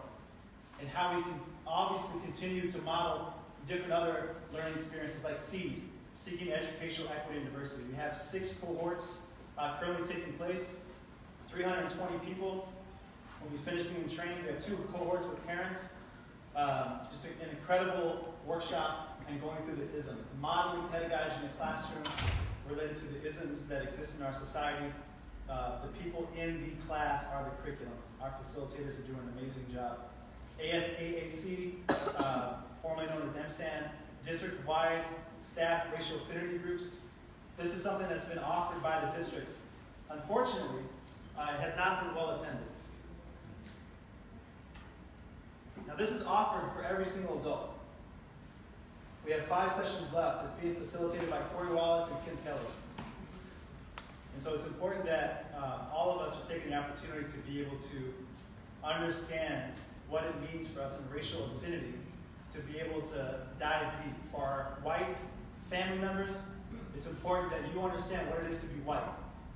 Understand uh, white racial identity development. So in that development, understanding of what that is, you're not leaning on people of color to do the work for you, nor are you overburdening them in the process. So that's why the space is provided. And for people of color, you're able to operate, express, and be in a, a sense in a place of community, not having to worry about taking care of the white other. Because the systems of power and dynamics do happen in the place of that conversation with white people and people of color in the same place. That's why with the affinity space, you're able to get deeper, faster, and then come together more genuinely with that space. Our cultivating consciousness principle trainings, which are uh, being done with the leadership of Adeline Calgatti and also Corey Wallace. Uh, coming soon is our white racial identity development for administration for the spring of 2019. First time administrators are hearing about this right now.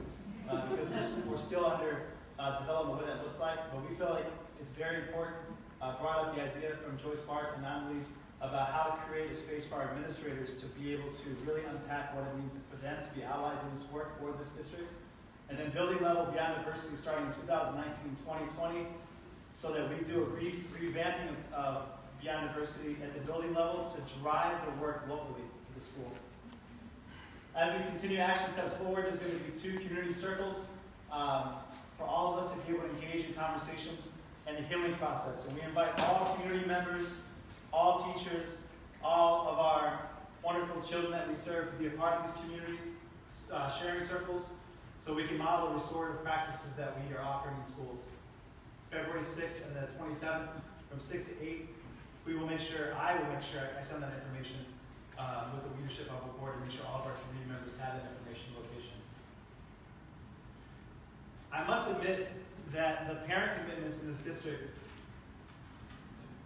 um, are incredible in my perspective uh, in doing this work in two other districts. Uh, so we're, uh, Beyond Diversity for Parents will be offered in spring. I have to give a shout out for our Haven Middle School parents for driving that, uh, for us to offer this for all uh, feeder schools. And so this will be open to everyone. Uh, yes, Haven parents will try to give you priority because it was your idea. Uh, we want to make sure that everyone is involved. So thank you for that push. Uh, Seeking Education, Equity, and Diversity. See it as I mentioned, there's two cohorts with parents.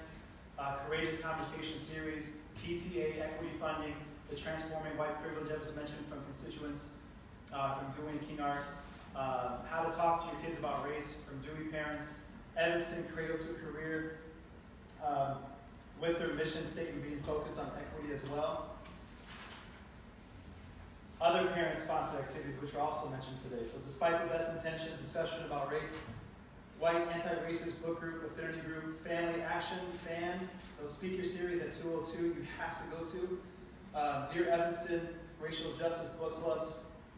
Um, and then the parent commitments that we have in moving towards anti-racist culture. Um, there was a few parents who spoke about this earlier, related to what our white family members need to do in this community. It isn't enough to have conversations with your kids about race. It isn't enough. How do you live, love, laugh, and play in this community? It, it, it isn't, is, is it in racial segregation? Our actions are what our kids see. Margaret Hagerman, who was an incredible writer, in Time Magazine published her article on September 4, 2018. For two years, studied 30 affluent families in, in a Midwestern community. Research showed that a critical and influential aspect of raising white kids in America is often overlooked. The social environments in which they grow up, white kids learn about race as a result of their own independent experiences. And I'm going to read a short excerpt, so bear with me, please. It's short. And Margaret says, based on her research, how white children learn about racism in America does not only happen during the interactions they have at school. Everyday behaviors of white parents also matter.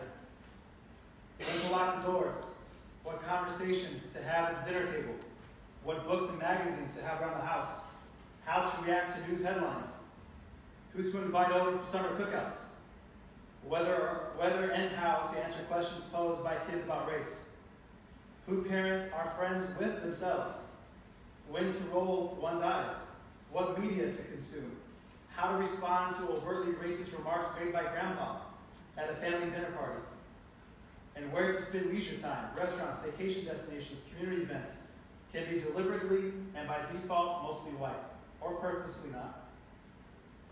These small actions are, are subtle, yet powerful messages. Parents may not be, be even be aware of this, and, and that they're conveying ideas about race through these behaviors. But children learn from them all the time. In this sense, when it comes to communicating with white children about racism, parents' actions speak louder than their words. The conversations parents have with their white children about race and racism matter. It's not just that so does everything else parents do.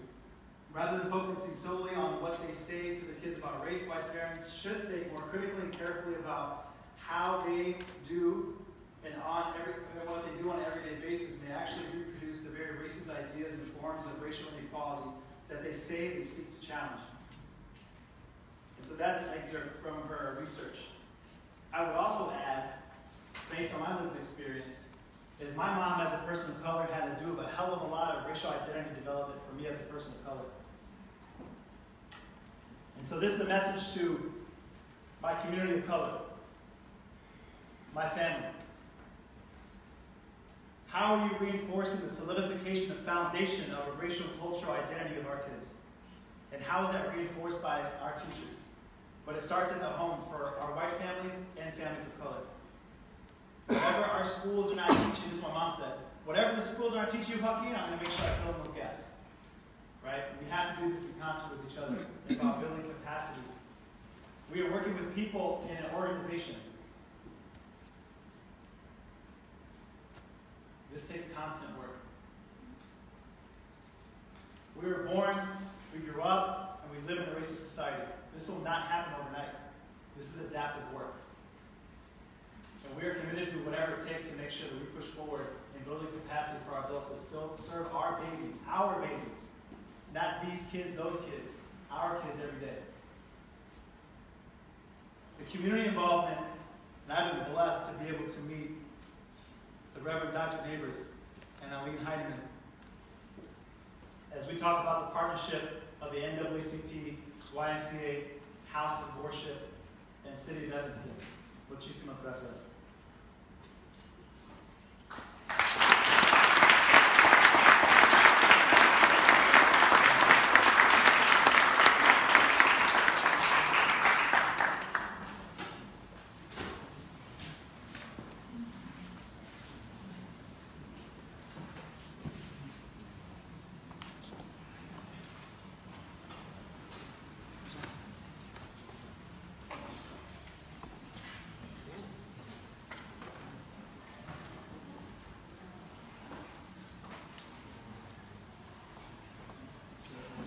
Segue to this part of the conversation, um, it's a great pleasure to have Reverend. Huntington here.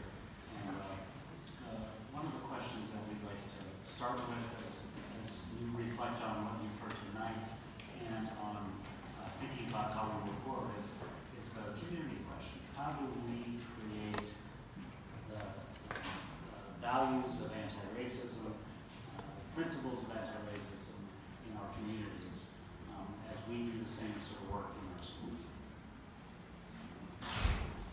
Um, Good evening. I think I'll, I'll, I'll try to uh, begin. Um, I, did, I did prepare a couple of announcements, and I'm going to try to wrap um, what I prepared into a response to, to that question. Um, and, and I want to start by saying I, I wonder if you all really know, um, if you really know what you're asking. I wonder if you really understand the largesse of this monumental goal that you have of making this district and this community both anti-racist and anti-hatred. And I want to begin my statement by saying that um, it is a noble goal, um, but I think that it is unprecedented in that it has not occurred, in, to my knowledge, in any district or any community in the nation or the world. And so you're asking um, something that's really key and crucial. And I think that the key to this kind of conversation and the kind of goals and objectives that you have set really is going to establish for us how we talk about uh, racism and hatred, not just within the school district, but within the community. And not just within the community, but within all of our individual families, all of our houses of worship. Uh, we're going to have to begin to talk about race uh, when it comes to everybody in our city. Uh, that includes our elected officials, that includes our first responders, that includes our business owners, our company owners, our corporations, um, everybody that uh, has anything to do with our community. If we're going to say that we have a school district that is anti-racist and we have a community that is anti-racist, and anti-hatred, then that is going to include everybody. Uh, certainly, you are concerned because of where you're starting, but I do want to say that a discussion about anti-racism includes a discussion about homophobia. It includes a discussion about Islamophobia. It includes a discussion about anti-Semitism and every other kind of ism that exists um, out there as well. So I think that what we've got to do is we've got to begin by building relationships by developing bridges between races and ethnicities that are not just professional, such as schools and, and businesses and companies and city issues, but those relationships must also be personal. How do you get parents to begin to talk to each other? How do you get parents to begin to talk to each other that are of different backgrounds and, and different ethnicities as well? Um, since racism and hatred are taught I think that we need to understand it falls upon the community, it falls upon all of those organizations that we talked about already to begin to teach an alternative. We are inextricably intertwined and caught up in a mutual web of interdependence as a community. And I think that the rich mosaic of the human family is something that is cause for celebration. So I put all of that aside and I say, this is what we have to do. So this is the plan. So, so, so it needs to be manipulated because it can't just be my plan, right? But these are ideas that I just want to begin with. The plan must include the following steps. It's major, you all, what you're trying to do. Identify racism as a critical epidemic occurring in our community. Take ownership of it. Don't just say, oh, America's always had uh, a problem with race. That, that's an outlet for you. No, admit that it is an epidemic that is occurring in this community. Number two, if a racist act or words are done or spoken, go immediately to the authorities, whoever that is. In schools, it would be teachers and or administrators. On your job, it would be your supervisor or owner. In public services, it might be a manager, a supervisor. In public spaces, it would be the police. Number three, if a racist act or words happens on your job, address it immediately.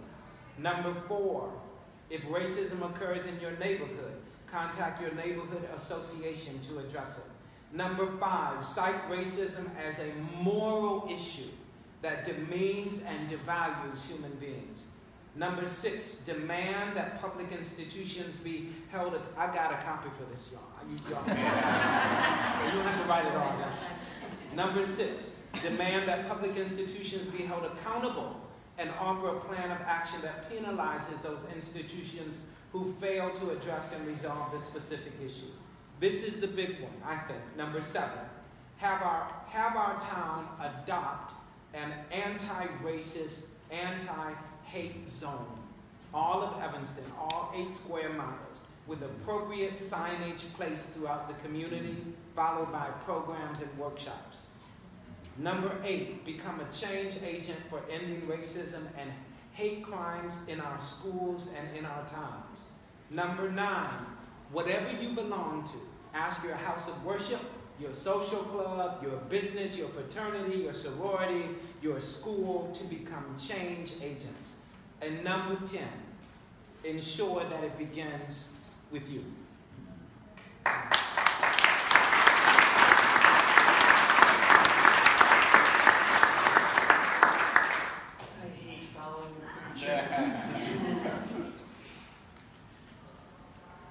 So the thing that we haven't talked about that much tonight is power. This conversation has to include the word power. Starting with the youngest students who have power, going to the person who's lived here the longest and people who arrived yesterday. What, who has the power to roll their eyes after this conversation? Who has the power to talk tomorrow morning about something they heard here in either a way that will demean the amazing, vulnerable, powerful stories that people shared, or the power to tell what they heard tonight in a way that allows them to become those change agents? If we don't talk about power and its use and its misuse, we're not addressing a core piece of this. A child who feels like they can make some of the remarks that have been made feels power. And they created some kind of response. And if the response they create is one that makes them feel more powerful, then that's bad on us. So we have to think about how people use their power and what's my power as an adult in this community? What's the power of YWCA to champion the work that you're doing in a way that says, yeah, you're not done, neither are we. Our sign out in front says eliminating racism. Talk about a goal that is pretty lofty. Yeah, we're not there, and we've been working on it for about 90 years. So we can either beat ourselves up about it or we can say, how do we individually and collectively use our power to create the change? So I loved the steps that Joaquin outlined about what's already happening.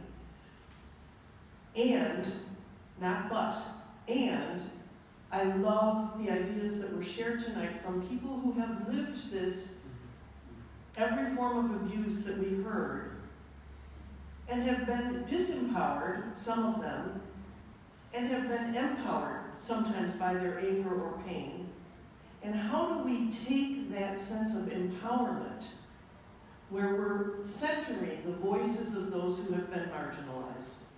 That's got to start each of these conversations. How do we center that voice and empower the changes that are being sought from those voices?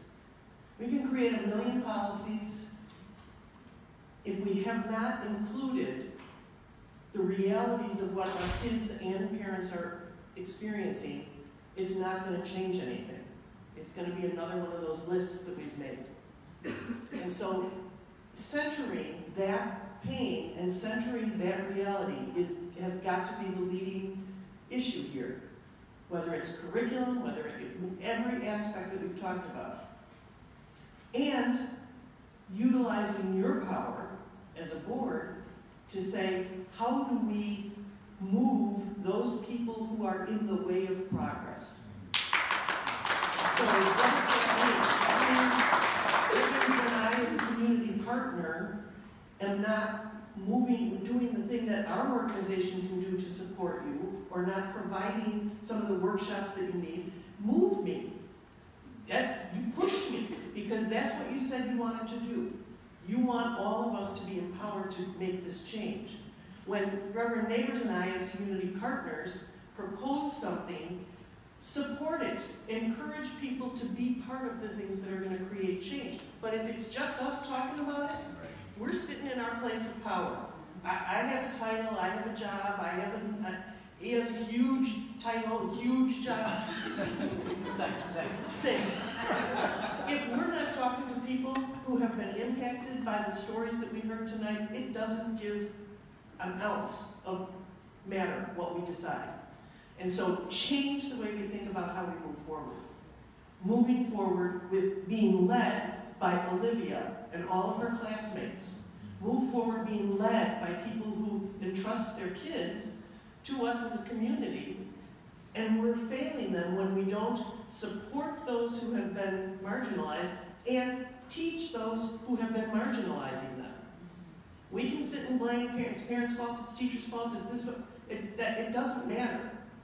The, our role now is to say, what do we do with what is? And we say, this is not okay, ever. And that has to be consistent.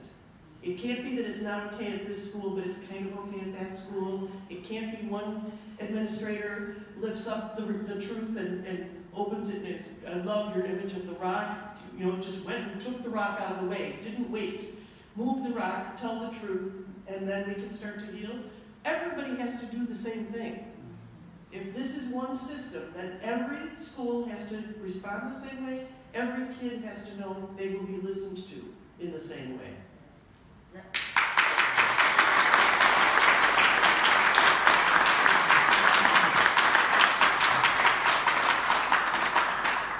I want to add um, that putting, putting a face to the issue of racism and hatred is very, very important. And I think it's not just important for those who are educators, but it's important for people that are willing to begin to engage in meaningful dialogue. We talked about the courageous conversations that have been going on. And I think that a lot of times, um, African Americans, we're in this situation, I heard someone say it earlier, I think it was Roger, we're always in a situation where, you know, whenever we talk about race, we, it's, it's like we become the teacher and, and, not, and not just the student. And people expect that from us. And they expect that from our kids as well. So sometimes when our kids are in the classroom talking about race, um, they almost become they almost become a second teacher, especially like what we've heard earlier, if they're the only black child in the classroom. You know, so the, the, the really the sentiment is, now how do your people really feel about that? You know, and that and that's too much pressure. It's too much of a burden for anybody at, at any age. But I think putting a putting a face on it is very important. My kids um, caught me, uh, I guess uh, it's probably about a year ago, but it was very, very interesting. We were going somewhere on, va- on vacation, and, um, and so I always, I, I kind of, I, I, always, you know, dress up. And my, my kids are always like, well, Dad, my God, why do you have to wear a tie all the time? Or a jacket? And even when we go on vacation, when we get on the, on the flight, you know, I, I, am in a, I am in a jacket and tie. You know, and it's probably a suit but at least a jacket and tie. And so I finally had to sit down and talk to my kids, my 14 year old son and my nine year old daughter. And, and, and, I said, listen, the reason why I do it is because um, I'm a black man. And I'm a black man, I'm, I'm kind of volatile and opinionated. And so, and so, I am indeed. And, and so if somebody, if somebody approaches me because they suspect that they can talk to me any way they want to talk to me or say something that's really going to be outlandish, I don't know how would respond. So I wear a suit and tie to protect you because, because with a suit and tie on, 90% of the time, I am completely respected, just like everybody else, whether it's in an airport or whether it's here or there. If I have my hoodie on, or if I have a t-shirt and blue jeans, people don't know me from blue and they may treat me in a way that's just completely unacceptable. Now, you all know that's insane. Isn't that insane? My God, we were going to Cuba, man. It was 112 degrees. but, but, but to tell that story, it's just one of a thousand. stories that we need to share so that people can understand how this issue of race is so pernicious and so ingrained in every single aspect of our community and of our society and the way that we live. And unless we begin to talk about it, like you all have decided you're going to talk about it, you all are the ones who invited us here and said we're going to have an anti-racist uh, school and an anti-racist community. And that's why I still think that it's probably one of the most amazing goals that I've ever heard anybody make. Who, who came up with that? yeah, I want to know. Who, who came up with it? It's a, well, Anya, Anya, that is the thing. And I want you to know you have 110% of my support in trying to make that happen.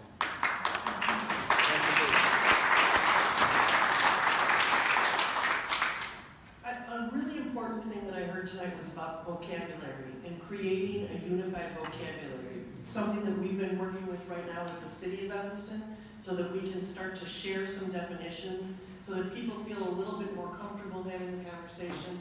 I think being upfront about that and being upfront about what what's the point of that? Why, as each step happens, what's the, what's what's the point? Why are we doing this? So that people start to, the community starts to understand. Because it's really important that people in the community say, oh, they're never going to change anything, they this, they're never, but all of those things we say, the rug gets pulled out from underneath those kinds of statements when there's incredible transparency. And when, when people are being told, oh, they've invited actual parents to tell their stories and they're responding to that. Oh, they talked about actual things that have happened in school and they're talking about what's the training that needs to happen so that doesn't happen again. That starts to change the community mentality and then we have to start owning ways to support what you're doing. And by we, I mean everybody, every organization, every whatever it is in Evanston has to be able to say, what can I do so that no six-year-old in Evanston ever has to be talked to in the ways we heard tonight. What, what's my role? I don't have anything to do with the schools, but what can I do to support what you're doing? And part of it is speaking up, and I have to be a person that pulls the rug out from underneath people who are trying to denigrate the work you're doing. And I, I know I loved Ginevra's notion of just don't listen to those people that disagree. I, I was a school administrator for a long time. I know you have to listen.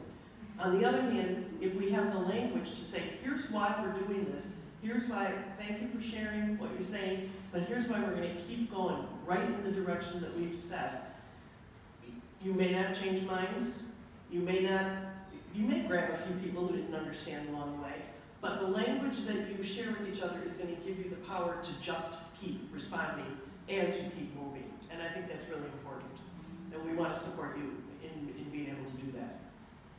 And what y'all have to do since you've started this is you have to you have to openly and publicly declare war on racism and hatred in this school system.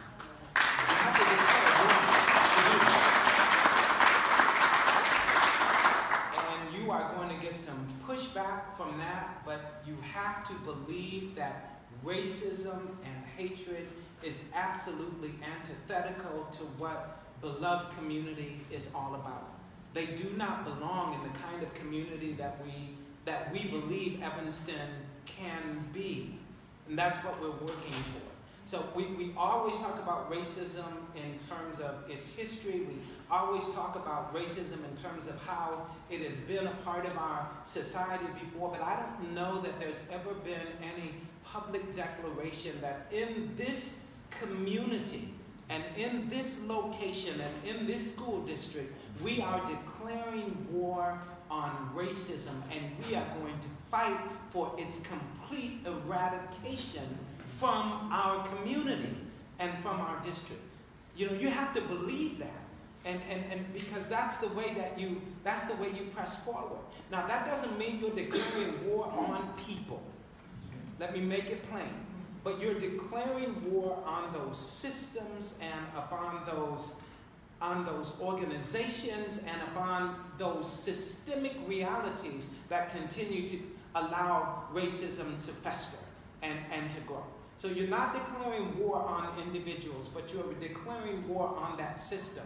And if they're the ones that are feeding into that system, then you're cutting off the feeder. They will no longer be able to feed into that kind of system. And we all have that. It's a, again, it's not just the district. You're not alone in this. It's in our it's in our entire community and it's in our entire city, in, in our entire nation.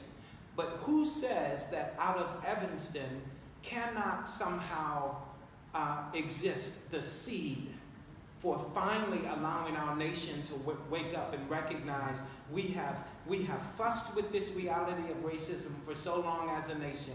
Now it's time to eradicate it. Now it's time to declare war. You declared war on poverty. You declared war on drugs. You declared war on every little thing, but nobody's declared war on racism. It is evil and it is wrong, and it needs to be eliminated.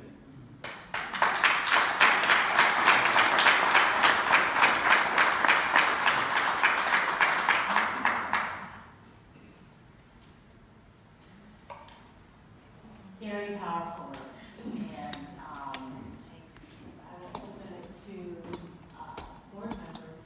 Um, have bring questions, comments. Joe, you want to start? Uh, You're gonna, you're gonna take me to church one day. The, the stories we heard tonight, and I've lived in this town for thirty-three years. I went to these schools, and, um, I remember as a student at Chute, um, the day I was having trouble at school, my parents went to meet with, uh, Mr. Pate, principal. And the respect he got as a principal from my parents, my white parents, and listening to my dad talk about how awesome it was to hear of that black man talking about how he was going to protect his baby at school. Um, not racial issues that I was having, but there was a racial moment with my white, relatively conservative father meeting with black principals. Um, come to think of it, I've only had black principals um, all my school career, Mr. Johnson and Walker. Um, Wow.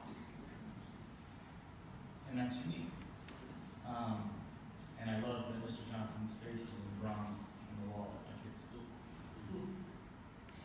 I also remember when I was at Chute before school, we'd skip over to the Asbury Street Market. And my black friends would have to leave their bags at the door as we went in to get our colas before school. Um, I didn't have to leave my bag. Uh, so this is not new. Like everybody said, this has been around a long time. Um, we heard a lot of references to teaching tolerance, uh, materials and standards for social emotional learning, and uh, to, all, to everybody's point, uh, great resources exist, um, and yet to make it a moral issue, as you suggest, um, dare I say demand, um, tolerance is just not enough. And while I respect the organization and I love the materials, the name is wrong. Um, so I love to see where the path forward is. Um, my compass has me thinking and feeling and recognizing that I'm a white man that can sit at a board table in a sweatshirt. I get that. I, I recognize that every day. Um, and I love to see where the path forward lies. Um, with an elected body of people that don't look like me, um, I think that's uh, impressive for our community. With a cabinet and educational leadership team that also doesn't look like me, I think that's uh, that's an opportunity.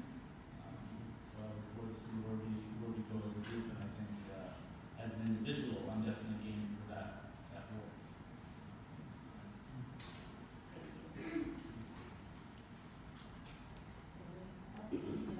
Yeah, it's, it's interesting because um, I didn't go to work today. And so I have my yoga pants on and loungewear, but um, on my way here, I had my gym shoes on. And I said, if I show up in my gym shoes, like people aren't going to take me seriously. You know, like I'm going to be judged by how I, how I dress. And as, as a Latina, how I carry myself and how I dress in public, it's something that is an added layer to my everyday. And then I sat down next to Joey and I saw you in your gym shoes. so um, I think, and and I've already said this before, we need to start tracking the incidences. Um, Reverend, it's not going to go away. But I think if we're able to track the times that this is happening in our district, it equips us to see those gaps at our schools, to provide support to our educators, to, to provide um, support to our community members. Um, and it's just as serious as somebody getting into a fight. It's just as serious as somebody, um, this is a, an offense. It's not a physical offense, but the emotional baggage and trauma that this is causing is really a humongous burden for our children to carry. Um, and we're the type of community that is talking about it. And I hope that in 20 years, we're not still talking about it. Because it's exhausting. And the people of color in this community are exhausted. And people who are who live in this community, we're all immigrants in Evanston. We all came here and made choices because of the beautiful environment, um, you know, that's ne- next to Lake Michigan, uh, houses that, you know, people feel safe, an incredible educational system. And I hope that, again, that we can start tracking these incidences and that through the, the collection of information on how we're responding and that every school is responding the same way. And that every school has the resources to make kids feel safe in every possible physically, emotionally. It's, it's important.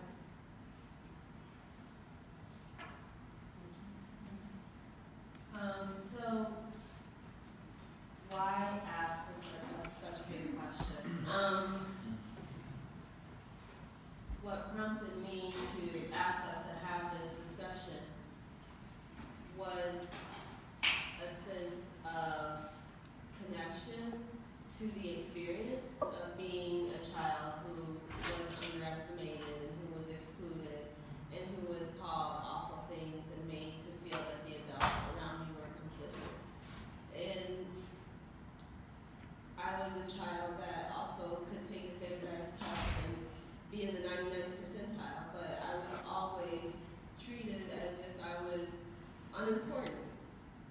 Um, and I felt like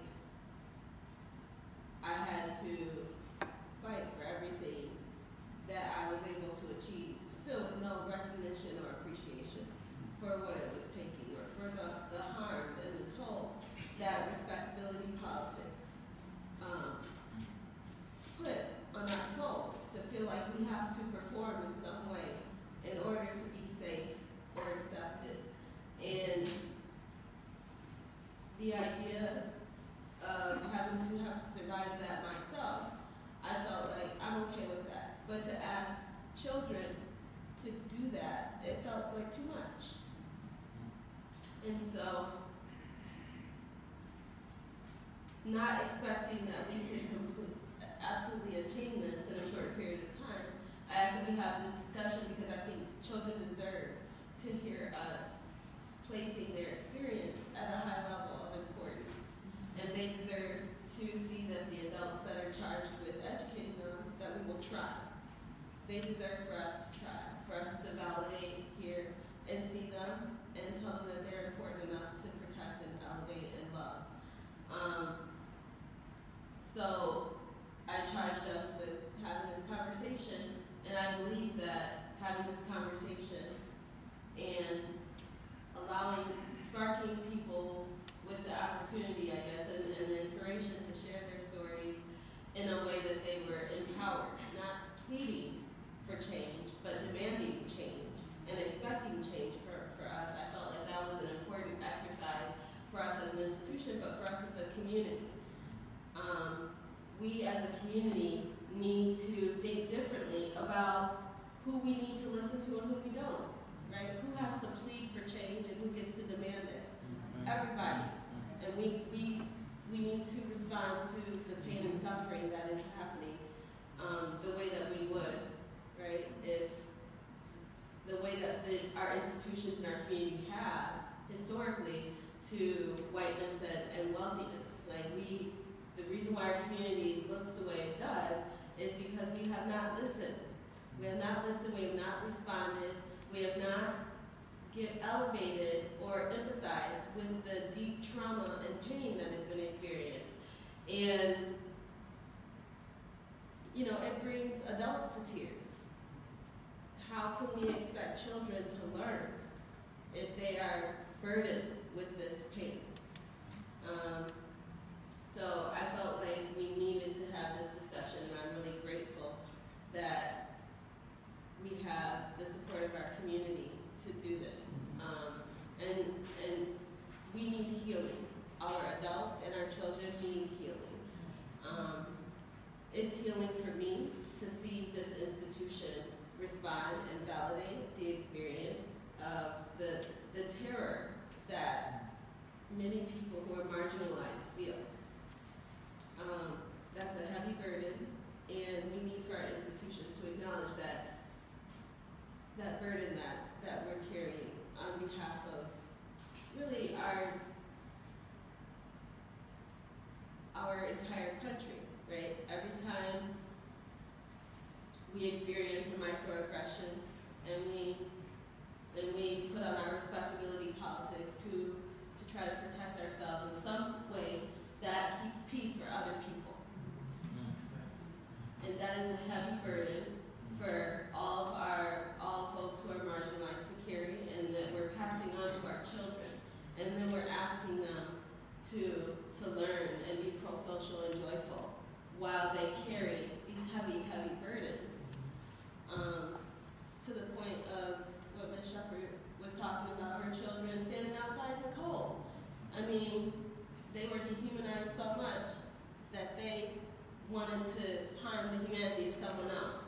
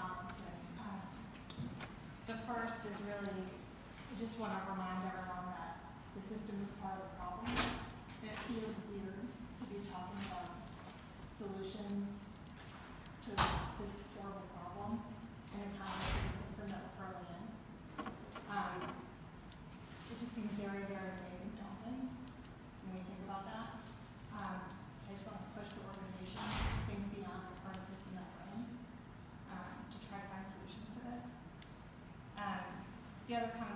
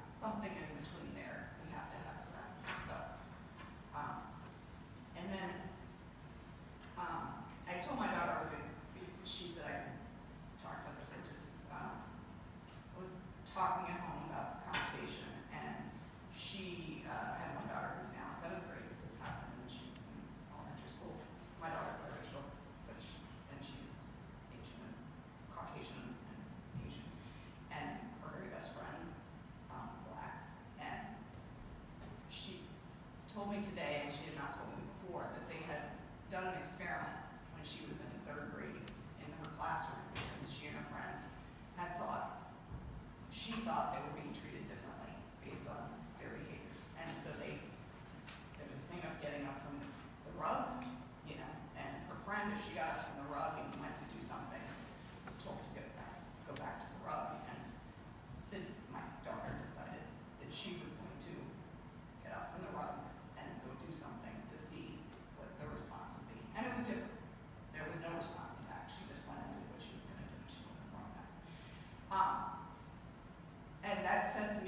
our children are so innately smart and they want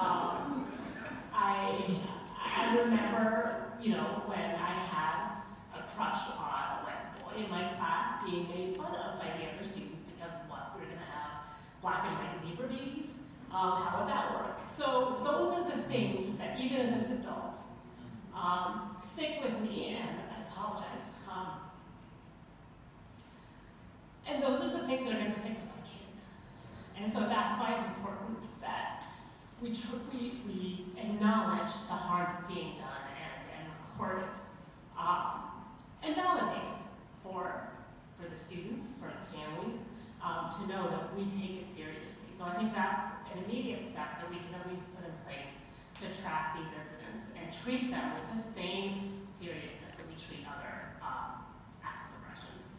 Um, I think I know that there are some of our principals who are doing such brave and bold work um, in our schools. Uh, I know we've highlighted, um, and I know people are talking about Lincolnwood with, with Max Weinberg, and Adrian Harries has done things at Nichols, and I know there are other principals who are doing good work. I think we need to make sure that we are lifting that up and using that as an example. I know some uh, schools are creating restorative circles for parents within the schools, and I know we're doing that on a community-wide level, but I would like to encourage all of our principals um, to engage in this work at the building level, um, and create these spaces uh, for um, your families and for students. Um, I think in terms of, you know, I appreciate Lindsay, your comment about we have to, because the system is part of the problem, we really have to think um, outside the box and beyond the system. And so, you know, let's, I continue to uh, push, and I know that I have uh, several board colleagues who continue to push for, let's look at different ways of how we define success and achievement. Um, it isn't just math scores. And while I don't want to, well, while we don't need to get rid of those and say that that isn't important, let's be expansive in what we can, what we, how we define student success. And knowing that maybe there isn't and then let's create it. Um, and let's show our students that they are more than a test score. Um, so those are just some things that I think that we can think about and we can put in place more immediately. We don't have to wait for you know, sort of the long-term um, uh, you know, product of, of, all of the trainings and everything. So um, I am appreciative of all the work that we've done. Um, I know sometimes I come off as being impatient that it isn't happening faster and things aren't changing. I, that isn't because I lack the appreciation for everything that has already happened. We do have, in so many ways, such an incredible community. I think the, the number of people that were here earlier and spoke is just a testament to the will that we do have in this community. Uh, I know that the will also exists to stop this effort. You know, I'm heartened to know that we have community partners, that we have community members who will support us in continuing forward in this.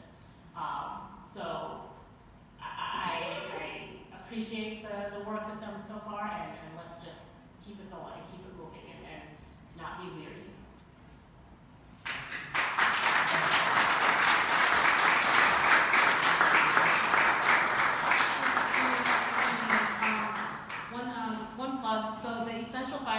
Five is out. Uh, one of the things that we talked about today is our student voice. Um, as adults, I think that we need to be hearing from the students who are in these classrooms. And this year, we have extended Essential Five survey from fourth to eighth grade. Um, we actually do read the information from those surveys. I know that is just another survey, but as we're talking about student voice, I think that it's very important that schools are promoting this survey and that it's not uh, taken lightly. Um, the, the results from, from last year, there are some schools that really pushed um, their, their communities to take the Essential Five, some not so much. But I can tell you that of the schools that did fill in the information and the feedback that we did get, um, that has helped to shape a lot of the conversations that we're having. So um, the, the survey is open until February, uh, February 15th. The survey is open now. That's a survey that's, that's available to students, uh, staff, and families. So I just ask that families please take the time to take the survey. It takes five minutes. Um, it's really helpful um, for us uh, to get that information back. And again, as we're asking our, for our student voice, this is one tool that we have already, and so I would like to challenge our schools um, to find creative ways, um, exciting ways to let uh, families know that we have this this tool now um, that they can fill out and um, share their their perspectives on their experiences at schools. Um, I just wanted to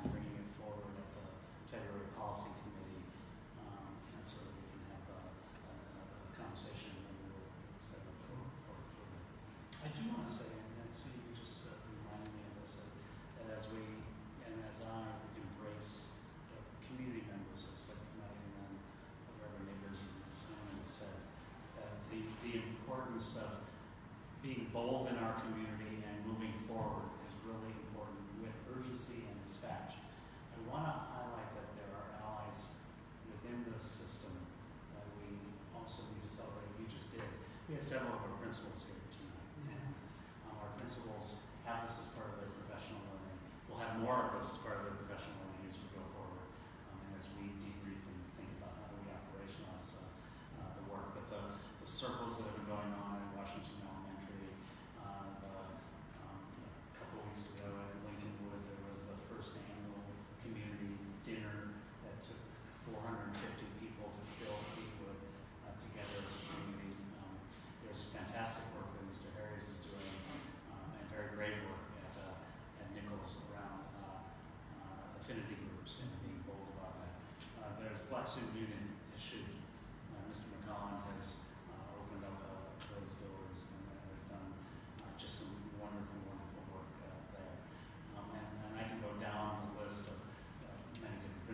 leveraging those principals who are allies is really important. And I do want to highlight and uh, honor the fact that the president of the teachers union is here tonight. Mm -hmm. And so in institutional structures, those are institutional structures that, um, that, that, sometimes are warring factions. And, uh, um, and this, uh, this evening, um, Meg Crowley was here, um, first and foremost as an educator, first and foremost as a parent in the system, and first and foremost and so I want to give her um, the acknowledgement that she deserves on behalf of our teachers because it's that knowledge that will also start to get translated into many of the questions that have been asked of um, and candidates you just put on the table. What's really going on in classrooms? And it's the, um, it's the partnership. Uh, Anya mentioned this earlier that we've been doing with, um, uh, with our union uh, and really thinking about how we